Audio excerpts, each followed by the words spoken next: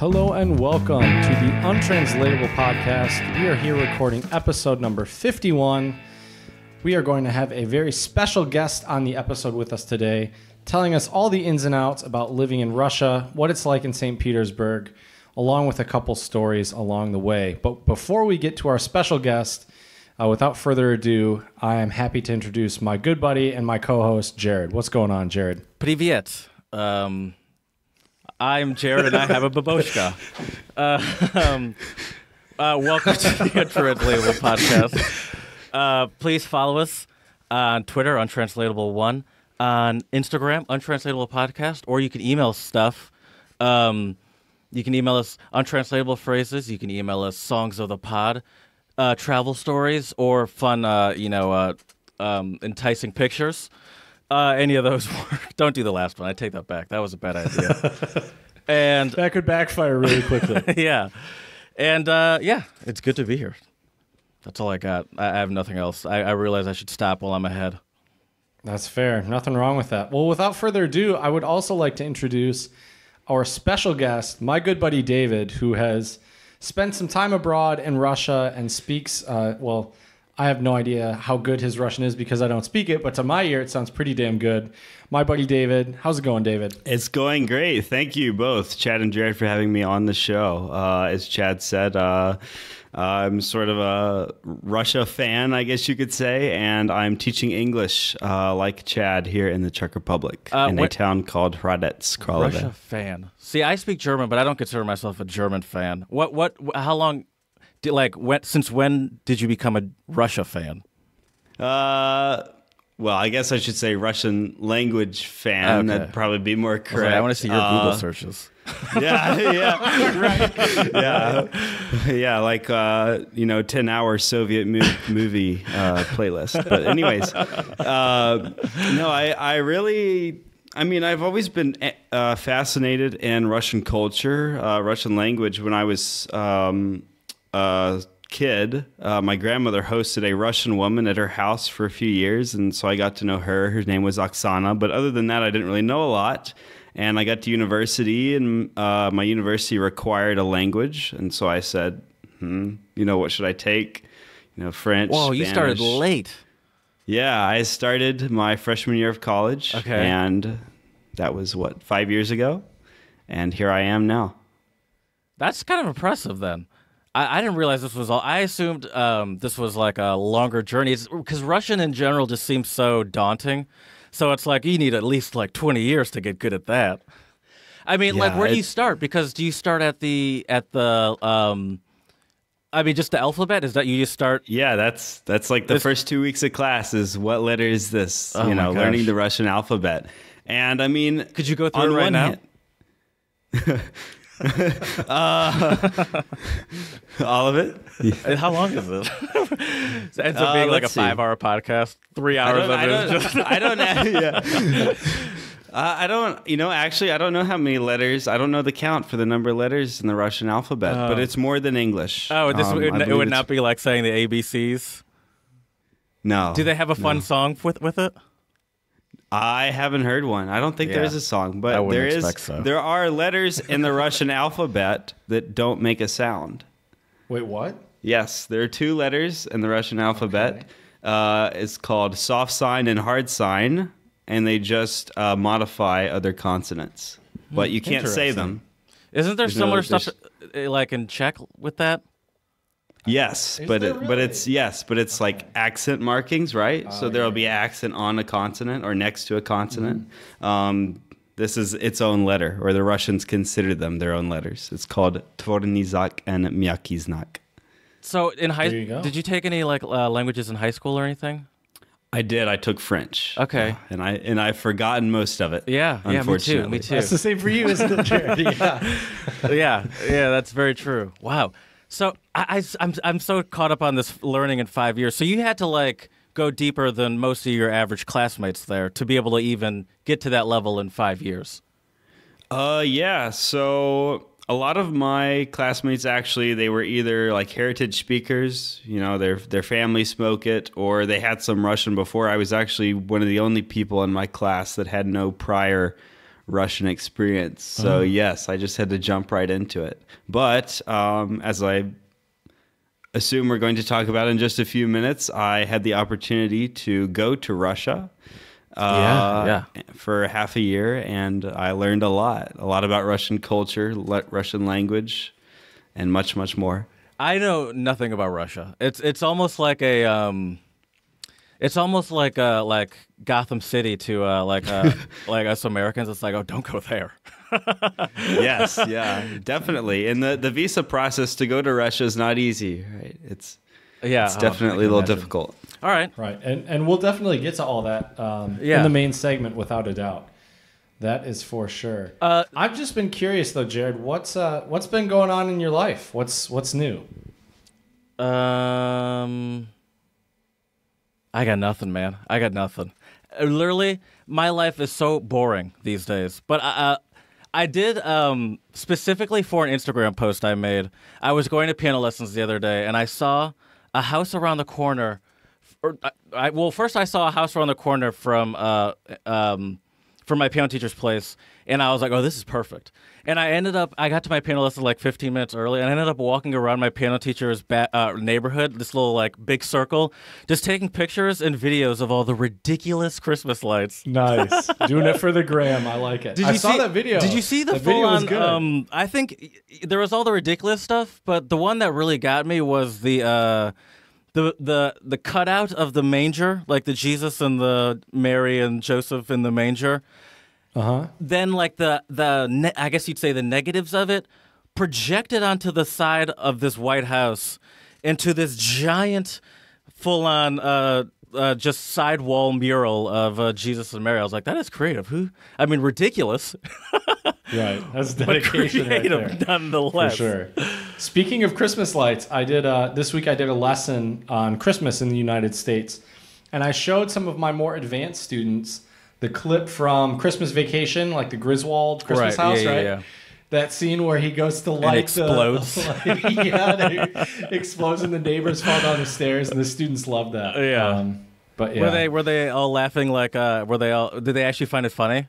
yeah, oh yeah, So- they were cracking up. I know a lot of people that do not find um um like the um, what do you call it? Family vacation Slapstick? stuff. No, the Oh, family yeah. vacation stuff funny at all. And I go back and forth. I go back and forth. That I mean, Okay, but that's just that's a fair. classic hilarious scene watching Chevy Chase explode. Oh, for sure. well, not him, but the but the house. But yeah. Right, but doesn't he fall Well, I guess off? he does explode because he. Well, He literally he does doesn't fall off explode. the He doesn't roof. like die. No, that'd be that'd be a bad ending to the to the movie. That's for for sure. But yeah. Um, other than that, though, dude, I, I have some news. Why? Uh, so today, You said that like someone's pregnant. I was like, oh no. Thankfully, no, nobody's pregnant that, that I know of. Um, but uh, no, I And if went so, to the nursing school today. but I, I ended up going to the nursing school today to teach a few lessons on the United States and on Christmas. what do you And, mean by uh, nursing school? The the school for um, people going into medicine and nursing. So it's for Oh, okay. soci, um, um, social work. Sorry, not sociology, but social work. And, and like nursing, working in a Right, hospital. right, right. I wasn't sure if you meant like a nursing home at first. No, no, no. Sorry. Yeah. And so my school is a technical school, and it's like 90, if not 95% guys, right? Mm-hmm. The nursing school, it's like the opposite. And and the first lesson, it weirded me out a little bit looking around and just seeing all of these girls just staring at me while I was talking because I'm not used to it anymore. Chad's worst nightmare.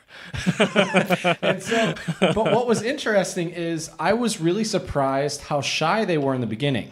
Eventually, I got them talking and, and to feel more comfortable and speak English. But I I've gotten so used to my own students and they know me fairly well by now that I can go in and just have a casual conversation to start class and get going.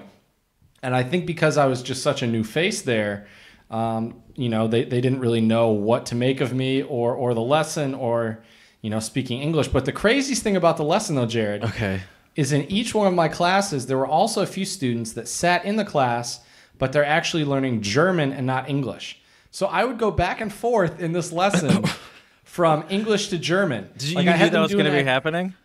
I had no idea until I stepped in the school and they said, by the way, there will be a few students who are taking German, but we're, we're letting them join the class for Wait, your did they, lessons. did they know you speak German, or were Yeah, they? yeah, they knew. Oh, okay. Yeah, they they were told I spoke German. BS so that was a really interesting teaching environment. You should have for stood your ground and been like, "Hey, I'm an English teacher right now. You can't just undermine my my profession like this. How dare you?" Well, they well they introduced me as an English teacher and a German teacher. Okay. which You is not that, is don't incorrect. Yeah, you I, I. You're like, did. "Yes, I am." I did.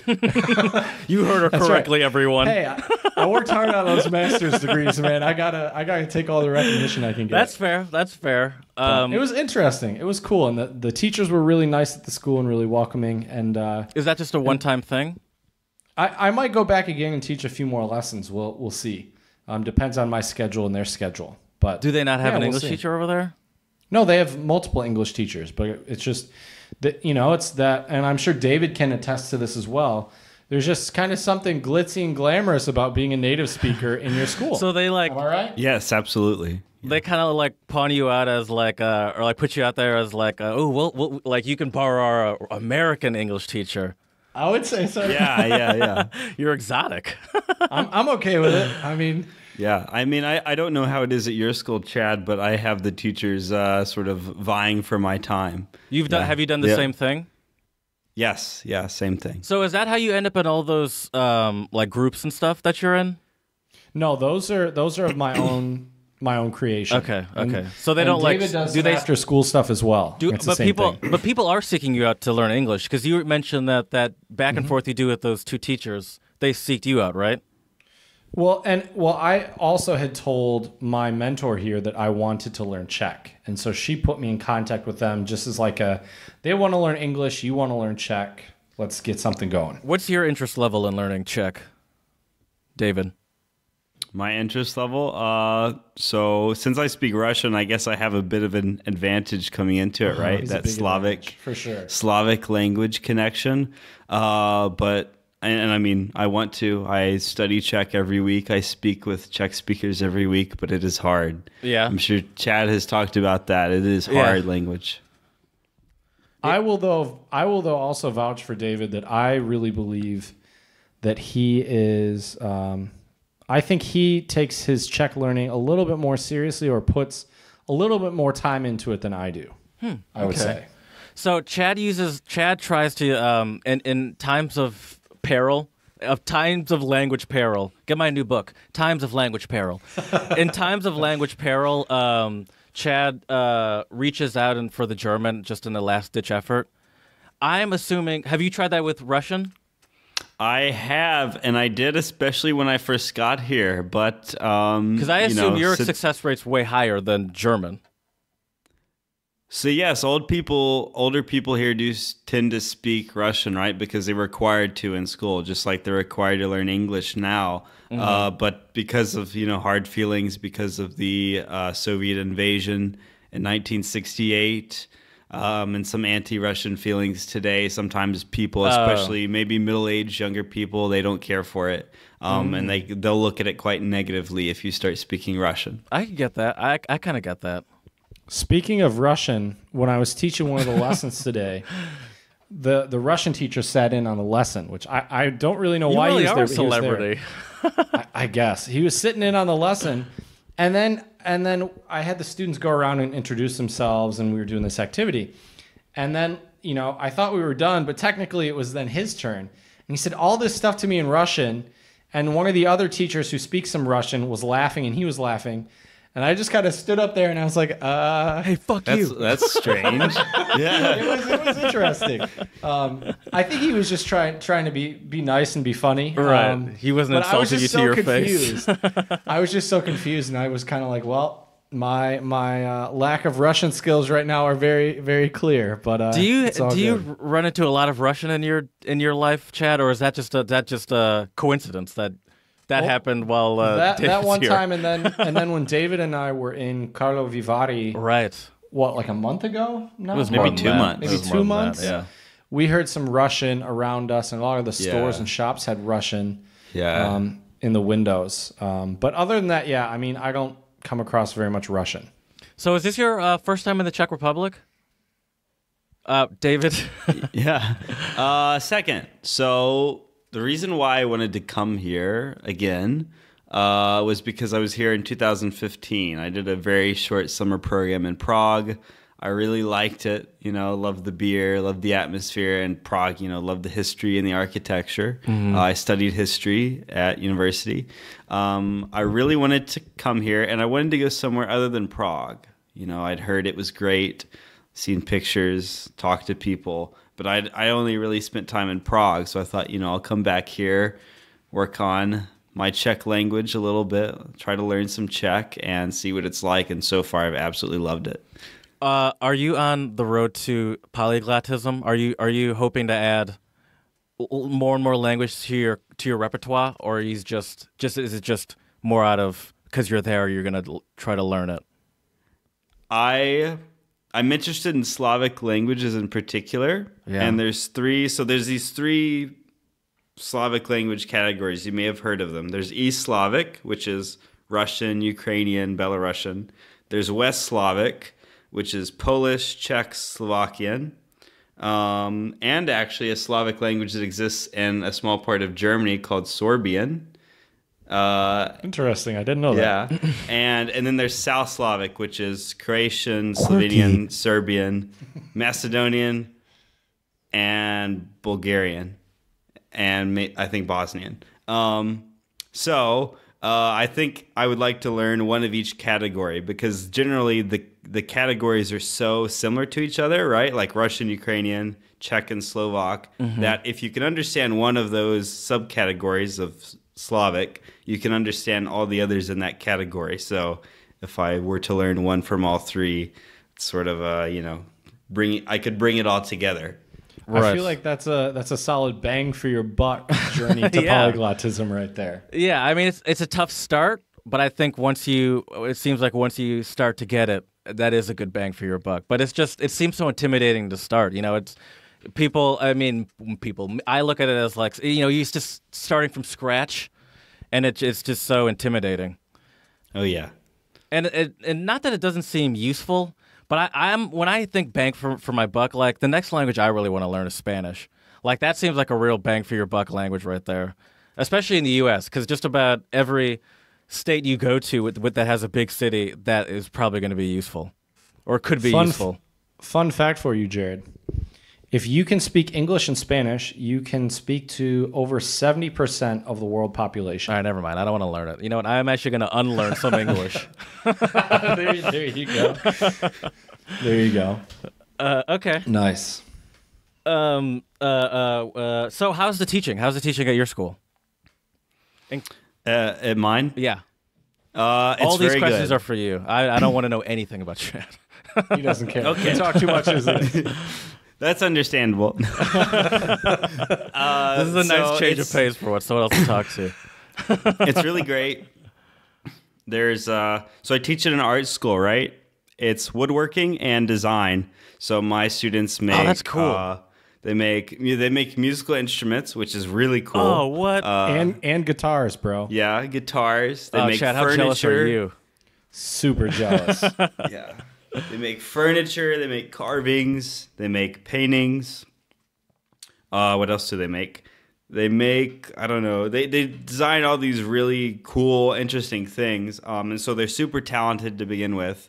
Um, and I love art, I love music. So my students are always very happy to talk about art and music. Um, and we do a lot with art and music in our English lessons. So it's, it's, it's a fun time. How, how how so? Like you incorporated into the teaching? You mean?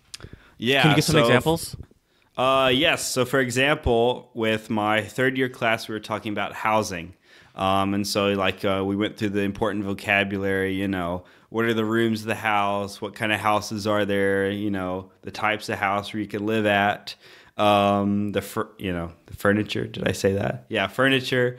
Um, and since they're design students and they spend a lot of time like working with either 3D models or actually drawing designs, um, and oftentimes for interior, the assignment uh, that we worked together on and then I had them do individually was come up with your dream home and then draw it and then be able to talk ah. about it, right? And so they could draw all this really elaborate interior, all the furniture. They could design the house, and then they had the vocabulary to talk about it. Oh, and then they were like standing up, and like, "This is my, this is the living room, this is the kitchen." Yes, yeah. This is my tree house. One one of the students she, she did she did a tree house and she said, "Okay, this is how I get into the tree house. This is the well, see, that's cool, and and that and that kind of like naturally ma- makes them want to like go above and beyond because then there's like the it, like putting in the modeling or or, the, or that part. They're like, "Oh, I want my thing to look cool. I don't want to come in with some."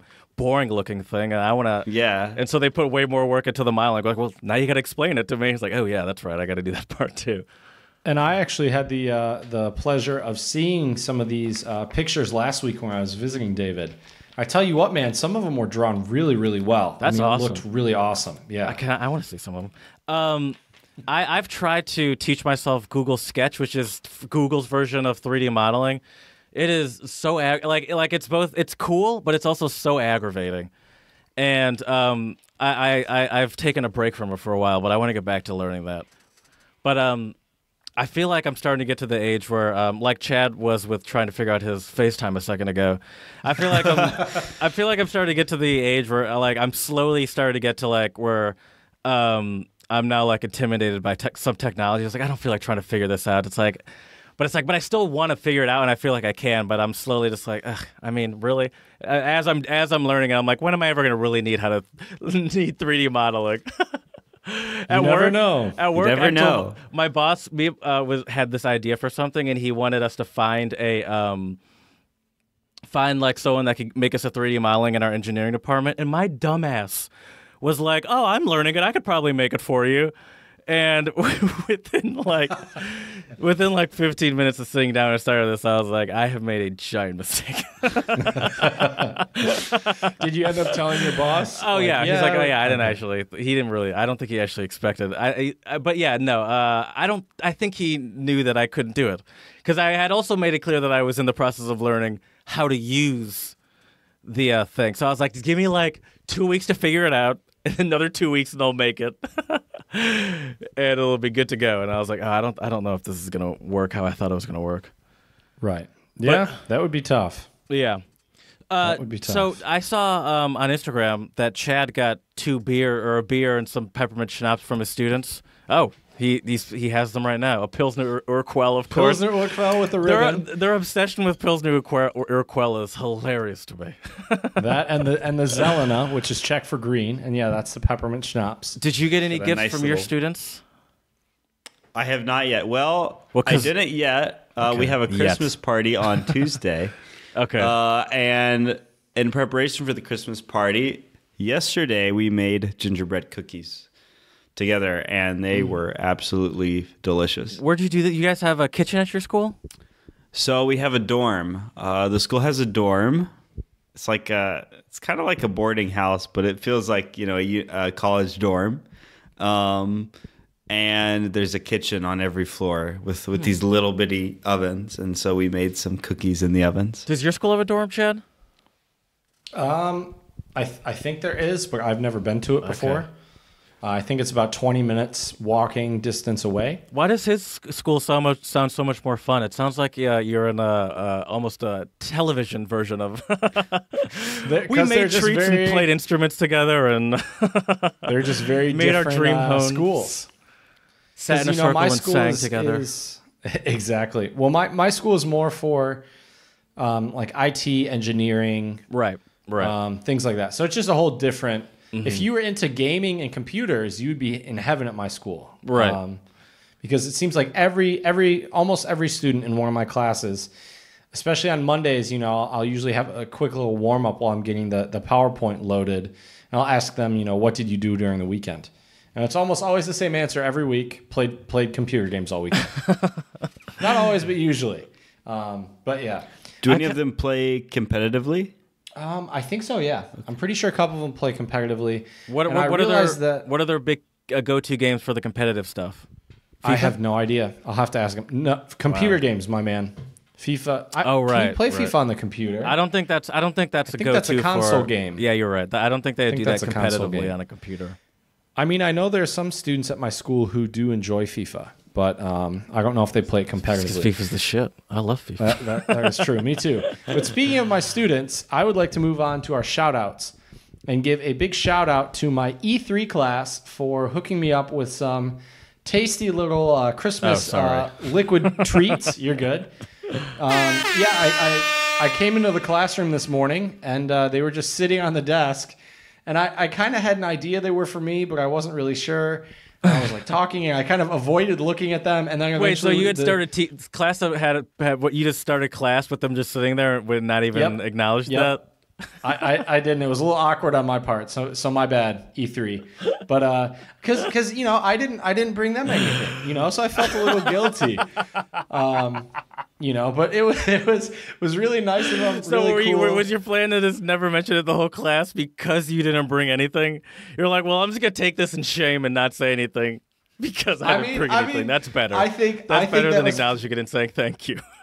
Well, I did say I did say thank you, but oh, you um, did? Okay, okay. I did, yeah, I literally thought I you just just walked in and like almost like di- act, act- like pretend it didn't even exist. Just just walk in, see it on the desk, and be like, oh, and leave leave the classroom. betcha. That would have been bad. That would have been really bad. But no, I just uh, I was a little embarrassed because I didn't bring anything, and and you know that was What really gonna bring to thoughtful the and whole kind of. a- class though? I don't know, a thing of Christmas cookies, something small. Chad, uh, you are you can't k- make anything. Do you know how to turn on an oven? Dude, the only thing I use to cook food here is my oven. I am a king with my oven. Well, okay, you might know how to turn on an oven, but that's still a case in point. I think you're still proving my point. Well, no, I, I said I would go buy Christmas cookies. oh, oh, oh, oh. Because I'm, oh, I'm not oh. trying to give my students food poisoning. You- Um, I like my students. So, so yeah, but that's my first shout out. my, my second God. shout out has kind of a different story. This is kind of badass. This sounds like something that Indiana Jones would do. So I don't know if you've heard about this, Jared, but there was a PhD student that was stuck in an ISIS war zone. Whoa. He was studying at Lund University, which is in, I believe, Sweden. And uh, There's an his- ISIS community in Sweden. no, no, no, no, no. He was in. I'm know, pretty I'm sure just he was in Iraq. Or, he was in Iraq, and so What, what was he So- doing there? What, what's his major? Like, Uh, was it like journalism or something? Oh, chemistry, chemistry. He went back because his uh, family. Oh, he's fr- he, okay. He went back to try to help his family. Gotcha, gotcha, Um, gotcha. and so he he had texted his his uh, dissertation advisor and told her, if I'm not back in a week, um, this dissertation is probably not happening, and um, that you know maybe life is over. And so he he was. Was that what, this- excuse me? You said maybe life is over? I guess I mean, so. you're, I mean, if you're captured by ISIS, life is probably Oh, over. I thought you were saying he just wouldn't. Okay. Th- this, oh, No, no. okay. Uh, yeah, I got you. I'm, I'm following. You- all right, we all on the same page? Okay, Yes. good. It's just So- intense. I'm so right here, so so this gentleman's name is, um, I believe it's Juma. So he said, um, I had no hope. Um, I was desperate. I just wanted to tell my supervisor what was happening. Um, and what she ended up doing is um, she sent, she hired some security group and basically sent mercenaries. And this professor got him out safely from Iraq. And he is now back in Sweden, finished his PhD, I believe, and is now working for a pharmaceutical company. Wow. Go ahead, ask away. I see you want to ask some questions, Jared. Merc- mercenaries, though? I mean, right here it says. Where do you even find a mercenary? So right here, she contacted the university security I mean, chief. listen, I'm not hating, by the way. This is more just out of curiosity. Like, are these so people over a few days, right? So over a few days of intense activity, Gustafson hired a security company. Did she pay for then them? Arranged. That's gotta would- be I would- expensive. I would, I would imagine so. A few, I've a seen few those days guys later, on Instagram. They're balling. Oh, I'm sure they are. Uh, yeah, right here, Jared.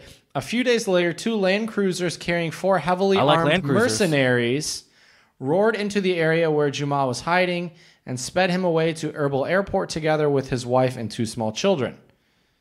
So there you go. So shout out to Damn. um, to the professor. Um, let me, uh, Charlotta Turner. Shout out to you for um, doing all that and helping Shout out student. to uh, Blackwater Mercenary Services for exactly. five right, stars on Yelp. and my last and my last uh, shout out goes to the city of Madrid. Have you heard anything exciting about the city of Madrid, Jared? Um, I saw um, everyone was clowning um, Cristiano Ronaldo because he attempted a uh, a uh, bicycle kick and flopped it, and everyone's because and everyone's making fun of it. It's like, oh, it didn't work like it did last time where he nailed it on Real Madrid's team. Is that- That's not Oh, what nice. you're talking about, is it? It, it is not. No. Okay. So For a uh, second, I actually Madrid. thought it was. Uh, no, no.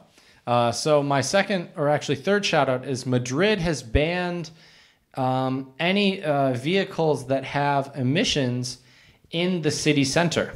Okay. I mean, this is rough that you're making me give this shout out. Lover of all cars, loud and big engined. But okay. That's, that's fair. I understand why this is good, and yeah, that that is. Uh, London's pretty. I don't. I think they're they're saying they're going to do that by like 20, 20 something, but but they heavily uh like there's it's heavily taxed. What like the the bigger your car is in certain city centers, I know in, Right. in London areas Sure. and stuff like that. Absolutely. But yeah, that's that's the way the future's going, man. Um, the the future for the internal combustion engine is is bleak, but it's it makes sense because electric cars, um, uh, they are way better for the environment. Um, and it takes. I th- I just watched a video that said it takes. I believe. Um, you know, everyone talks about how, yeah, uh, ba- electric cars might be. Um, might be like uh, uh, good for the environment and, and and not emitting any fuel, but like um, there's the all the pollution that goes into making batteries. There's that they, they use cobalt, they use lithium that you have to mine in Congo, and, and these with a lot of child labor goes into mining these rare metals. And it turns out that actually only like four to five years, and a lot depending on the state, but after four to five years, electric cars are way better than uh than like for the environment, which is no time. That's the like the average time that people own cars. So, uh, yeah, that's the way the future's going, and I like it. I think it's good, even though I like cars. I think I also like technology, so it's cool. Oh, definitely. And there still is going to be a need for cars. That was technology talk while um, David and Chad poured their beers. That's right. So, David, how about how about you uh, let our listeners know what what kind of beer we got today? For So? Beer of the right here time. today, we have Gambrinus, and there's a picture of a guy who I assume is Gambrinus, Can I see uh, what he and looks it like? is number twelve. So Oh, hey. Gambrinus, the Gambi. Do you know who Gambrinus is? I, I have no idea. No, do you? No. Oh, no. Uh, yeah, I don't have the slightest idea.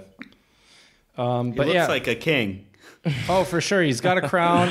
he looks he looks like a cross between Santa Claus and Václav or Wenceslav. uh, yeah, yeah. Do you want me to? I can tell you who he is. Seems like he's a pretty cool dude. please, please do. Let's tell us. Gambrinus is a legendary European culture hero, kind of like the uh, uh, uh, celebrated as an icon of beer, brewing joviality and joie de vivre. Early, Ooh, I like it. All right. Uh, traditional songs, poems, and stories describe him as a king, duke, or count of Flanders and Brabant. Typical, typical uh, representations in the visual arts depict him as a rotund, bearded duke or king. Uh, essentially, uh, what I'm going to say is a uh, Chad in 50 years. I'm, I'm okay with that. uh, holding a tankard or mug, and uh, sometimes with a keg nearby. Gambrinus is sometimes erroneously called a, a patron saint, but he is neither a patron saint nor a uh, toot- tutelary. I don't know what that is. That took a weird turn. But yeah, he just seems like uh, he's a culture icon, and apparently people just like to use his likeness to represent beer and joviality. Think, um, the Captain Morgan guy. That's that's true. Well, here as a, as a as a way to test this, we gotta give it a try. So, as they say in the Czech Republic, Nazdraví. I'm gonna take a guess and assume that this is what uh, Chad would describe as a Pilsner style bill be- beer to avoid attacks from um, Pilsner Urquell purist on on the Reddit forums and potentially in real life as well. Well, guess what, Jared? Gambrinus is actually brewed at the Pilsner Urquell Brewery, Okay, all right. Well, I take everything back that I just said, and I'm so sorry. and the company was slipping founded. slipping on in- gator piss. That's true. But yeah, so this Talking is over uh, my Gam- own drops. this is turning weird. so Gambrinus Pilna uh, 12. Um, what's that? Um, Dvanatst. Yes. Right, Twelve. Dvanatst. If you want a little extra Czech untranslatable, right here is a t- is a typical uh, twelve degree, right? Mm-hmm. Twelve degree pale lager, which is five percent ABV. Okay. So I remember the last beer that the Klushevitsky had a 10 on there. Krušovice. Uh huh. Klushevitsa had a 10 on there. And so is the 12 on the Gambrinus, is that similar concept to the 10 on the Klushevitska? Exactly. Do you see the the twelve? Uh, I do. Yeah, I you do. see the twelve. Uh, you're not Yeah. turned. Yeah, yeah. I see like the side of it, but yeah, I get, I get the idea. So the the really interesting oh, thing it's right to there me the top. I see it now perfectly. uh, here in the Czech Republic, they don't, you know, they don't do what they do at like a craft brewery, local brewery in the U.S. or even with some, you know, of the major beers, where they'll say, you know, this is a lager, this is a pilsner, this is a pale ale, whatever. They don't say any of that stuff. They simply have the brand and these numbers, which they consider like a grade, right? Um, so this, I guess, they would consider a higher grade as a 12 than the 10. Do you know what the sort of the higher numbers are? Like if you get into like the highest grade stuff, what what numbers you'd be talking about? I think with like some IPAs, you could go up into 16, 18. So they do do IPA. Do do they do IPAs in um in the Czech Republic? There's a few. I've had a few. Okay. But they're not, I haven't had one that was quite as bitter as many of the ones you find in the US. They're all kind of tame, I'd say. That's uh, one thing I, I recently learned is that um, the U.S. had like that. That's uh, a quality of the U.S. is that they have way more freedom with um, eh, with what they can do with, with beer and, and a lot of these countries in Europe that have these such old histories of, of brewing stick to antiquated not antiquated but stick to very old rules that limit a lot of the uh, sort of weird beers you can find in uh, in the U.S. pretty commonly I'd say. Yeah. Isn't there some German brewing law? Reinheitsgebot. Yeah, 15, 16? Yep. uh-huh. Yeah. Yeah. So the so the purity laws. Yeah, I think you you're what allowed three or four ingredients I don't know. in your I beer. don't. I don't know the. I don't know the rules behind that. But yeah, it's the purity laws of fifteen sixteen. Is what is Yes. that? That's what it is.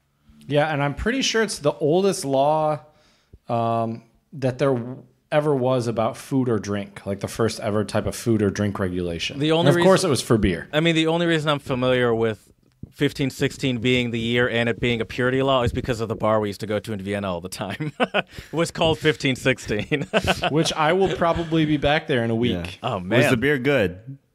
Oh yeah, and they had Oh, their yeah. own. They, I mean, they were. I mean, I think they were kind of un- uniquely good because that they like brewed their own stuff there, which was was, really yeah, good. and it was kind of unique stuff too. I, I liked it there. It was good. Also, speaking of The Vienna, food was Austria, not that special though, but it was still good. But the beer was good. That that that currywurst was pretty good though. That's But true, that, we, we can talk about that later. Interesting fact though, Jared, about Gambrinos and Austria. The the brewery Ottakringer, which is where I used to live in Vienna, also has um, also brews Gambrinos apparently. okay. And there are also some breweries in Germany that brew Gambrinos as well, and even uh, I believe in Pittsburgh and Columbus, Ohio. So August Wagner Breweries in Columbus, Ohio. I could probably also, find Gambarinos around here. I'm three hours away from Pittsburgh. You should find some. See what you think. All right. Yeah. I'll, I'll, I'll But, but you know we've we've been talking all about Gambarinos. Wh- What are your thoughts on the taste, David? What what Hmm. do you think? You've had a lot of Czech beers. I feel like it's safe to say I've probably had a lot of Czech beers. We've been here for four months. We both enjoy beer. Yes, definitely. I mean, I like it. Um, I can say because we know it's brewed by Pilsner. I think this is their uh, their take on a beer with a bit of a lighter taste. Right? It, it's not quite as strong in flavor as Pilsner. Or is skunky. Or as skunky, yeah, that skunkiness is not quite there. It feels a lot lighter, a lot smoother. Um, do you It's got Yeah. a nice nice amber kind of tint to it. do you think there's some sort of uh, purposefully uh, like purposefully purpo- purposefully making the Pilsner Urquell Urquell taste better than this beer because they're made by the same company and obviously they want the Urquell to be the top the yeah, top and of this the line. is cheaper. This okay. is cheaper. That makes yeah, that makes perfect sense then. Yeah. All right. Yeah, what do you think, about- Chad? Uh, I like it. Smooth finish. Oh wow! Um, look at that. what a pr- smooth finish. These are professional words. That's, that's right. I don't know. It's got a it's got a good Strong taste undertones. to it. Let me take another sip. Can you identify the hops and the malt that they used in this beer? Believe it or not, I cannot. It's it's good though. It it goes down real smooth. I've I've always been a fan of Gambarinos. Um, there's a the, my favorite bar here in Chomutov has it on tap, and it is delicious on tap. Um, we may uh, make our way there tomorrow evening, um, and uh, yeah, it's just it's got a good taste. I will say though, for some reason, it's kind it's a little counterintuitive. So it's it's darker in color than a Pilsner Urquell, mm-hmm. but I think it's definitely lighter in terms of mm. taste and finish and everything like that. Yeah.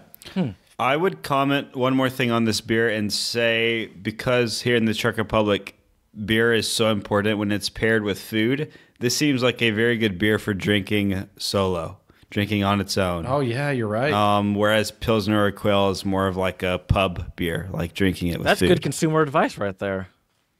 I like yeah, that. I could drink this with or without food.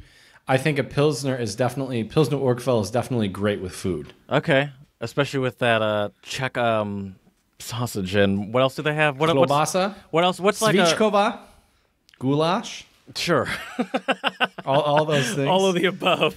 right.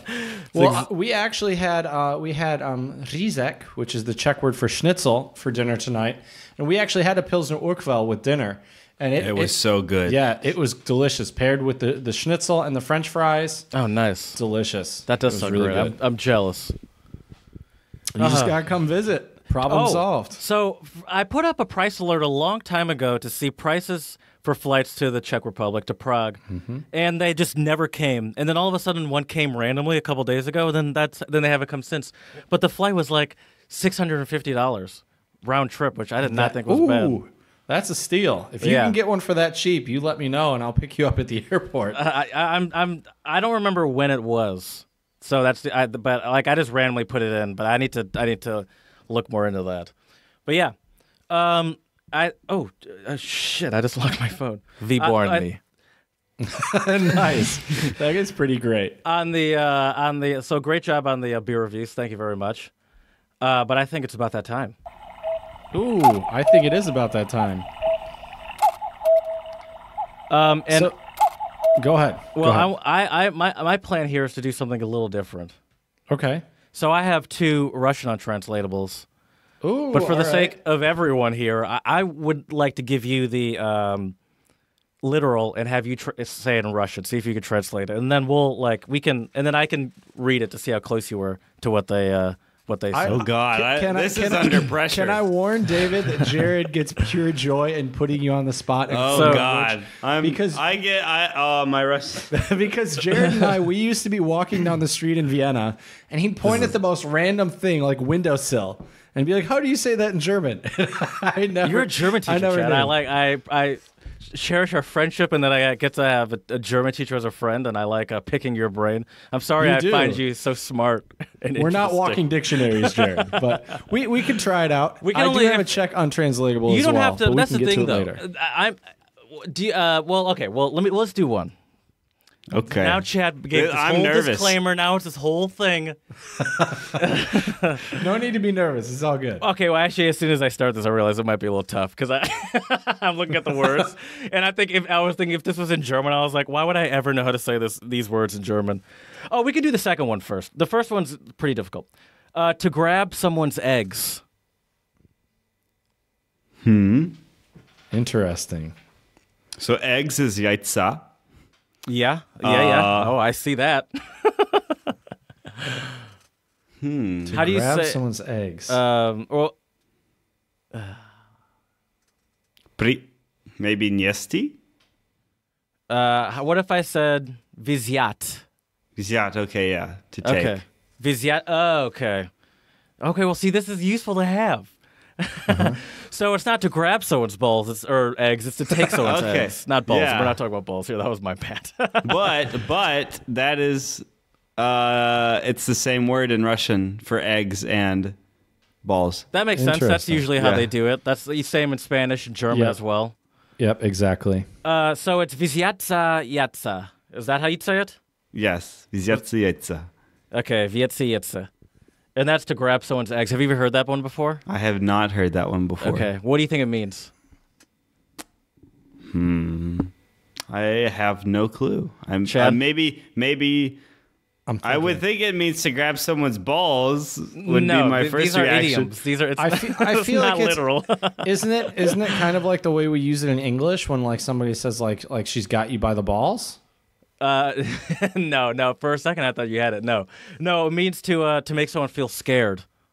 Oh, interesting. Okay. Interesting. Mm-hmm. I wonder why that has anything to do with eggs. Well, I th- I think maybe they're all. I think they might be talking about balls, and I think if someone just gets grabbed by the balls un like unprovoked or or like, and you're like, "Uh, what's about to happen here to my balls? That could make someone feel scared. Yeah. That's fair. That's just That a guess. fair. I you know I don't. Yeah, I, that's there that. does- I would also say that because Russians off almost always when they're talking about yaitsa, aside from the grocery store and the kitchen, that's what it has to do with. Uh, okay. Do they do they talk about their balls a lot over there? Well, I mean, just as much as the average guy does, I guess. Okay. I don't want to be put into that category, by the way. That's fair. I don't blame you. I feel like I keep ball talk to a I minimum, don't but I know blame what you mean. Um, uh, Chad, do you have any, or do you have any untranslatables, David? I have a Czech one. Oh, it- David does as well. Yeah. Russian or Czech?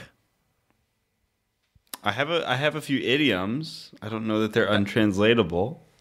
Chad, Well, he's we'll messing- find out. He's fucking with our branding right now. This is uh, this is. Oh, he's good. if anything, it's my fault, my dude. Okay. I just Okay. told him to You bring some Russian idioms. So here we go. Give us some idioms. yeah, tr- Okay. untranslatables. Give us an right. untranslatable. Don't give I'll- in, Chad. So, hmm. I'll start. I'll start with uh, the first one I thought of. Okay, I'll say it in Russian, then I'll say what it literally means, Yes, and then I'll let you guess.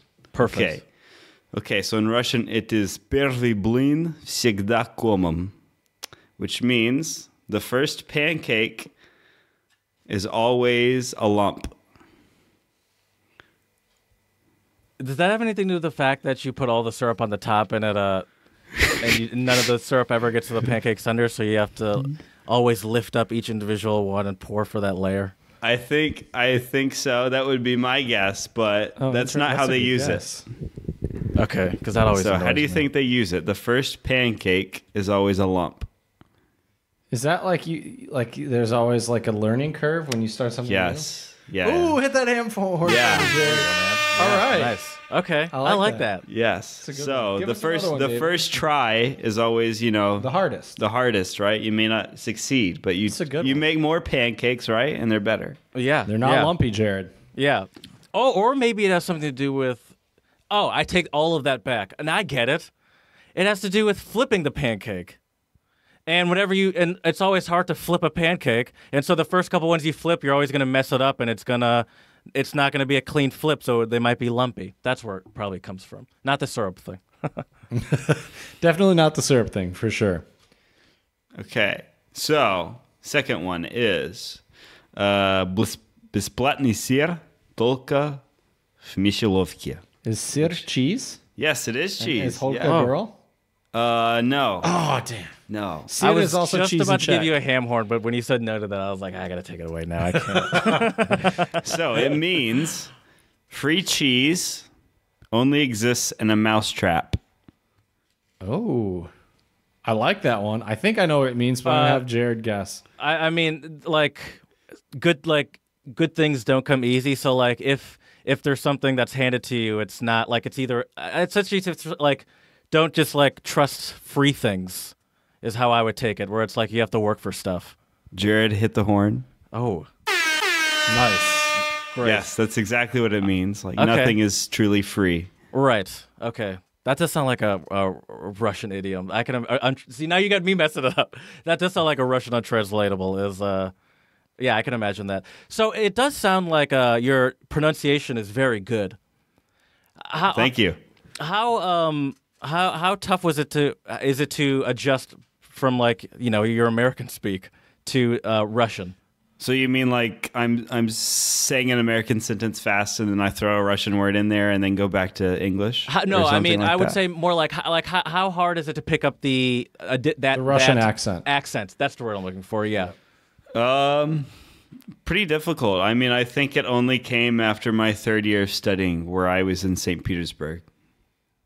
Did you, uh, you, you? How long did you? St- uh, we need. All right. Sorry, I have so many questions. Um. All right. All right. All right. Well, Do you here, have any let's- let's- Let's save it. Let's move on to the main segment. Let's save it. Okay. So you studied abroad in, in um in, in St. Petersburg, Petersburg. or Yes. or it seems like they just call it Peter. Peter, yes, that's the For- shortened version. Is Peter. For um for how long? So I was there from August to December. So five months. Okay, okay, okay, okay. Okay, I gotcha. Um, my first thought was if someone was were learning Russian, would is Russia the only option they have for studying abroad? Absolutely not. Um, I'm sure that's like because- on, quest- that's a an good question, Jared. I feel like that's an FAQ on the Study Abroad website. yes, yes, absolutely. I know. I know just as many people that went to a different country to study Russian language and Russian culture uh, than Russia. So, because Russia is such a big country, uh, Russia and the Soviet Union have such a huge, you know, historical footprint. Um, you have countries like uh, Kazakhstan, Kyrgyzstan, uh, what Ukraine, where there's lots of people who speak Russian, lots of people who are culturally Russian. And then you have a lot of countries like, say, Estonia that has cultural Russians and even Russians that nowadays are moving to that country. Uh, so you can find Russian speakers there. Uh, there's various colleges and communities where Russian is the primary language outside of Russia. I mean, even in New York City, you have Brighton Beach, right? Have you heard of Brighton Beach in New York No. City? It's a strong Russian community there. Okay. Uh, lots of Russian speakers. So there's there's Russians everywhere. So you could theoretically study abroad in Brighton Beach, New York. Is what you're telling me right now? maybe maybe I, I haven't heard of For the a program, but I'd Russian be I'd be interested. To, yeah, I'd be interested to know if there is some sort of Russian language program there. I'm sure. Well, I'm sure if it's that, um, like that infused into the community, they, they probably at least teach it in schools. I would imagine. Oh, They yeah. have- Oh, yeah. I'm sure there's no shortage of finding Russian teachers to teach in schools there. Definitely, yeah. So yeah, definitely, you can go many places. Were you con- Um, were you considering any other uh, anything other than Russia? I was. I was strongly considering a program in uh, Almaty, Kazakhstan, Okay, which is a very nice city. I've heard. okay. What? How'd you choose uh, Peter? So I chose Peter mainly because I Oh, also fun. studied uh, history. It was fun to say, isn't it? Yeah, yeah, it's super fun to say Peter. Yeah, and it's so much shorter. St. Petersburg, Peter. You know, because uh, I, I, when I was um, like lo- doing research on St. Petersburg, I was like, "There's no way that they're saying St. Petersburg every time." Uh, with like people that actually live there, like it's too long. It is, yeah. So Yeah. anyway, how'd you choose uh, Peter? Uh, so I love history and Russian culture and Russian music, and really, um, I'll just go ahead and break it down. You know, you've got St. Petersburg and Moscow. Moscow is the political center, business center. Um, it's a very big city, very busy, and St. Petersburg is more the cultural capital. You know, the arts capital, the place with the history and and uh, the really nice architecture. I mean, there's great architecture in Moscow as well, but if you really want to get into the culture and the music and those sort of things, St. Petersburg is the place to go. It's better for the uh, for the young people. For the uh, oh yes, yeah, that makes sense. I I, I saw somewhere that um, St. Petersburg has a very high number of coffee shops. it does. Yes, and coffee is not actually that popular in Russia. You have most people that drink tea. Uh, but compared to the rest of Russia, yes, St. Petersburg has a lot of coffee shops. And correct me if I'm wrong, David, but I remember you telling me that uh, St. Petersburg is kind of known as being a, a, a hipster city. Yes, yeah. So there's a phrase in Russian now. It's called Pitersky hipster, which means a Petersburg hipster, right? Oh, Um, interesting. and it's to describe the artsy people in St. Petersburg. Because if you go to some other places in Russia, you know, people, especially in wintertime, you know, often tend to wear darker clothes. You may walk down the street and think, you know, people tend to, you know, dress in the same way, have the same sort of fashion sense. And you go to St. Petersburg and everyone has their own unique sense of fashion. Um, and they're Now- very artsy. I notice you're not wearing a flannel like Chad and I. Would you consider yourself a fashionista? Uh, definitely not. I I am just. This is just an odd day for me. I woke He up- usually has a flannel on. I which is usually have a flannel say on. that. Today I woke up and said I'm feeling like you know being a little creative today, and so I put on a gray sweater. Oh wow, wow. Very nice. Um, okay, so when you that was your was that your first time um, in a Russian speaking country? It was yes. How how um, terrified were you? That's a leading question. I was I was very terrified. You know, honestly, the first week I got there, you know, I I came in and you know I can I could read Russian decently. You know, I could write it, but my speaking um, was just really really awful. Uh, and so I was you know scared to talk to people. Right. And it's the first time I really you know seriously studied abroad and. Uh, I was like my first week. I was afraid to go out of the house. I was, I was, you know, afraid of social interaction. You know, people are going to identify me as a foreigner. Did you have Uh, any like friends through your program though?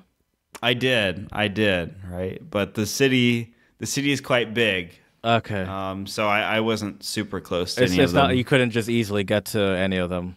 no, no, we all lived in different places. What um like what what were people telling you about about um either either what were people warning you about Russia or what were people saying to you before you went there? I feel like you got a lot of annoying comments before you left telling people you're going to go there. Yeah, so I mean the first the first question which I, you know, honestly I was a bit annoyed with was why would you go to Russia, right? Cuz people Yeah. still kind of have this cold war mindset, you know, they think Russia is a terrible place, um, which is absolutely false, right? It's I I really liked Russia. Um I and I made great friends and there's really some great people there. Uh, but you know, th- there's still this mindset um, that I think some Americans have that you know it's a dangerous place. You know, Russians are the enemy, things like that, um, which is absolutely false. Um, and so I got a lot of that, and uh, a lot of people talked about the, you know, sort of xenophobia. You know that you know Russians. Some Russians really don't like Americans, and if they find out you're American, that they won't like you or something like that. Did Uh, you which I ran into a few times, but overall, I'd say you know that's that's not the case for most people. And and for the times that you did run into that, like what did you do to kind of circumvent or like cool down the situation? Um, well, well, one time I remember telling them I was Canadian. Did that help? and yeah, um, Which kind of seems ridiculous to me. It seems ridiculous. But I get it, was but I also get it. It was ridiculous, yeah, but it worked. Um, but you know, most other times I just said, "Hey, you know, I love Russia. I don't mean any offense or anything like that," Do you and think- they were okay with it. That's probably I would imagine that's the same sort of attitude or it's coming from the same place as it comes from when you hear that stuff from Americans like that are warning you before you go there. Like is that coming from the same like antiquated Cold War thinking? Or yes, is it something I more think recent? so. And I, I have to say that when I, re- it is coming from that Cold War thinking, um, but it's also coming from, I think, uh, some modern day, what I'd call propaganda in Russia. You know, on the news media, you see things where they're talking about, you know, American politics, what the American military is doing, uh, things like that, how it's putting pressure on Russia etc. Um, and I think uh, the times that I did run into xenophobia, it was on occasions uh, where I met people that were from, say, for example, a more rural area of Russia and had less uh, exposure to foreigners. And because of that, um, because they had never, you know, met an American before, and you know, have that media, the, the both the Cold War mindset and today's media, where you know they talk about some of the bad things America's doing, Right. Um, that they were afraid of me, and because they were afraid of me, they got defensive and uh, then aggressive. Um, but I'd say for most people, that's just absolutely not the case. They were very uh, excited to know that I was American and talk with me. I think it's it. also important to mention. Sorry, Chad. I think it's also important to mention that this was pre. This is pre current administration. Yes, this so is I'd be interested to know if it's even exacer- like if it's exacerbated now or, or what it would be like now. I wonder if it might even be better now because it seems like Trump and Putin are buddies. Yes, I I've talked to many Russians that like Trump. I, I can They're imagine fans. that. That that makes sense. Yeah, I could see that for sure. Now, now, David, you mentioned that you know there were also some people that would seek you out because you were American. What were what were some of the things that they were curious about? You know, did they ask you?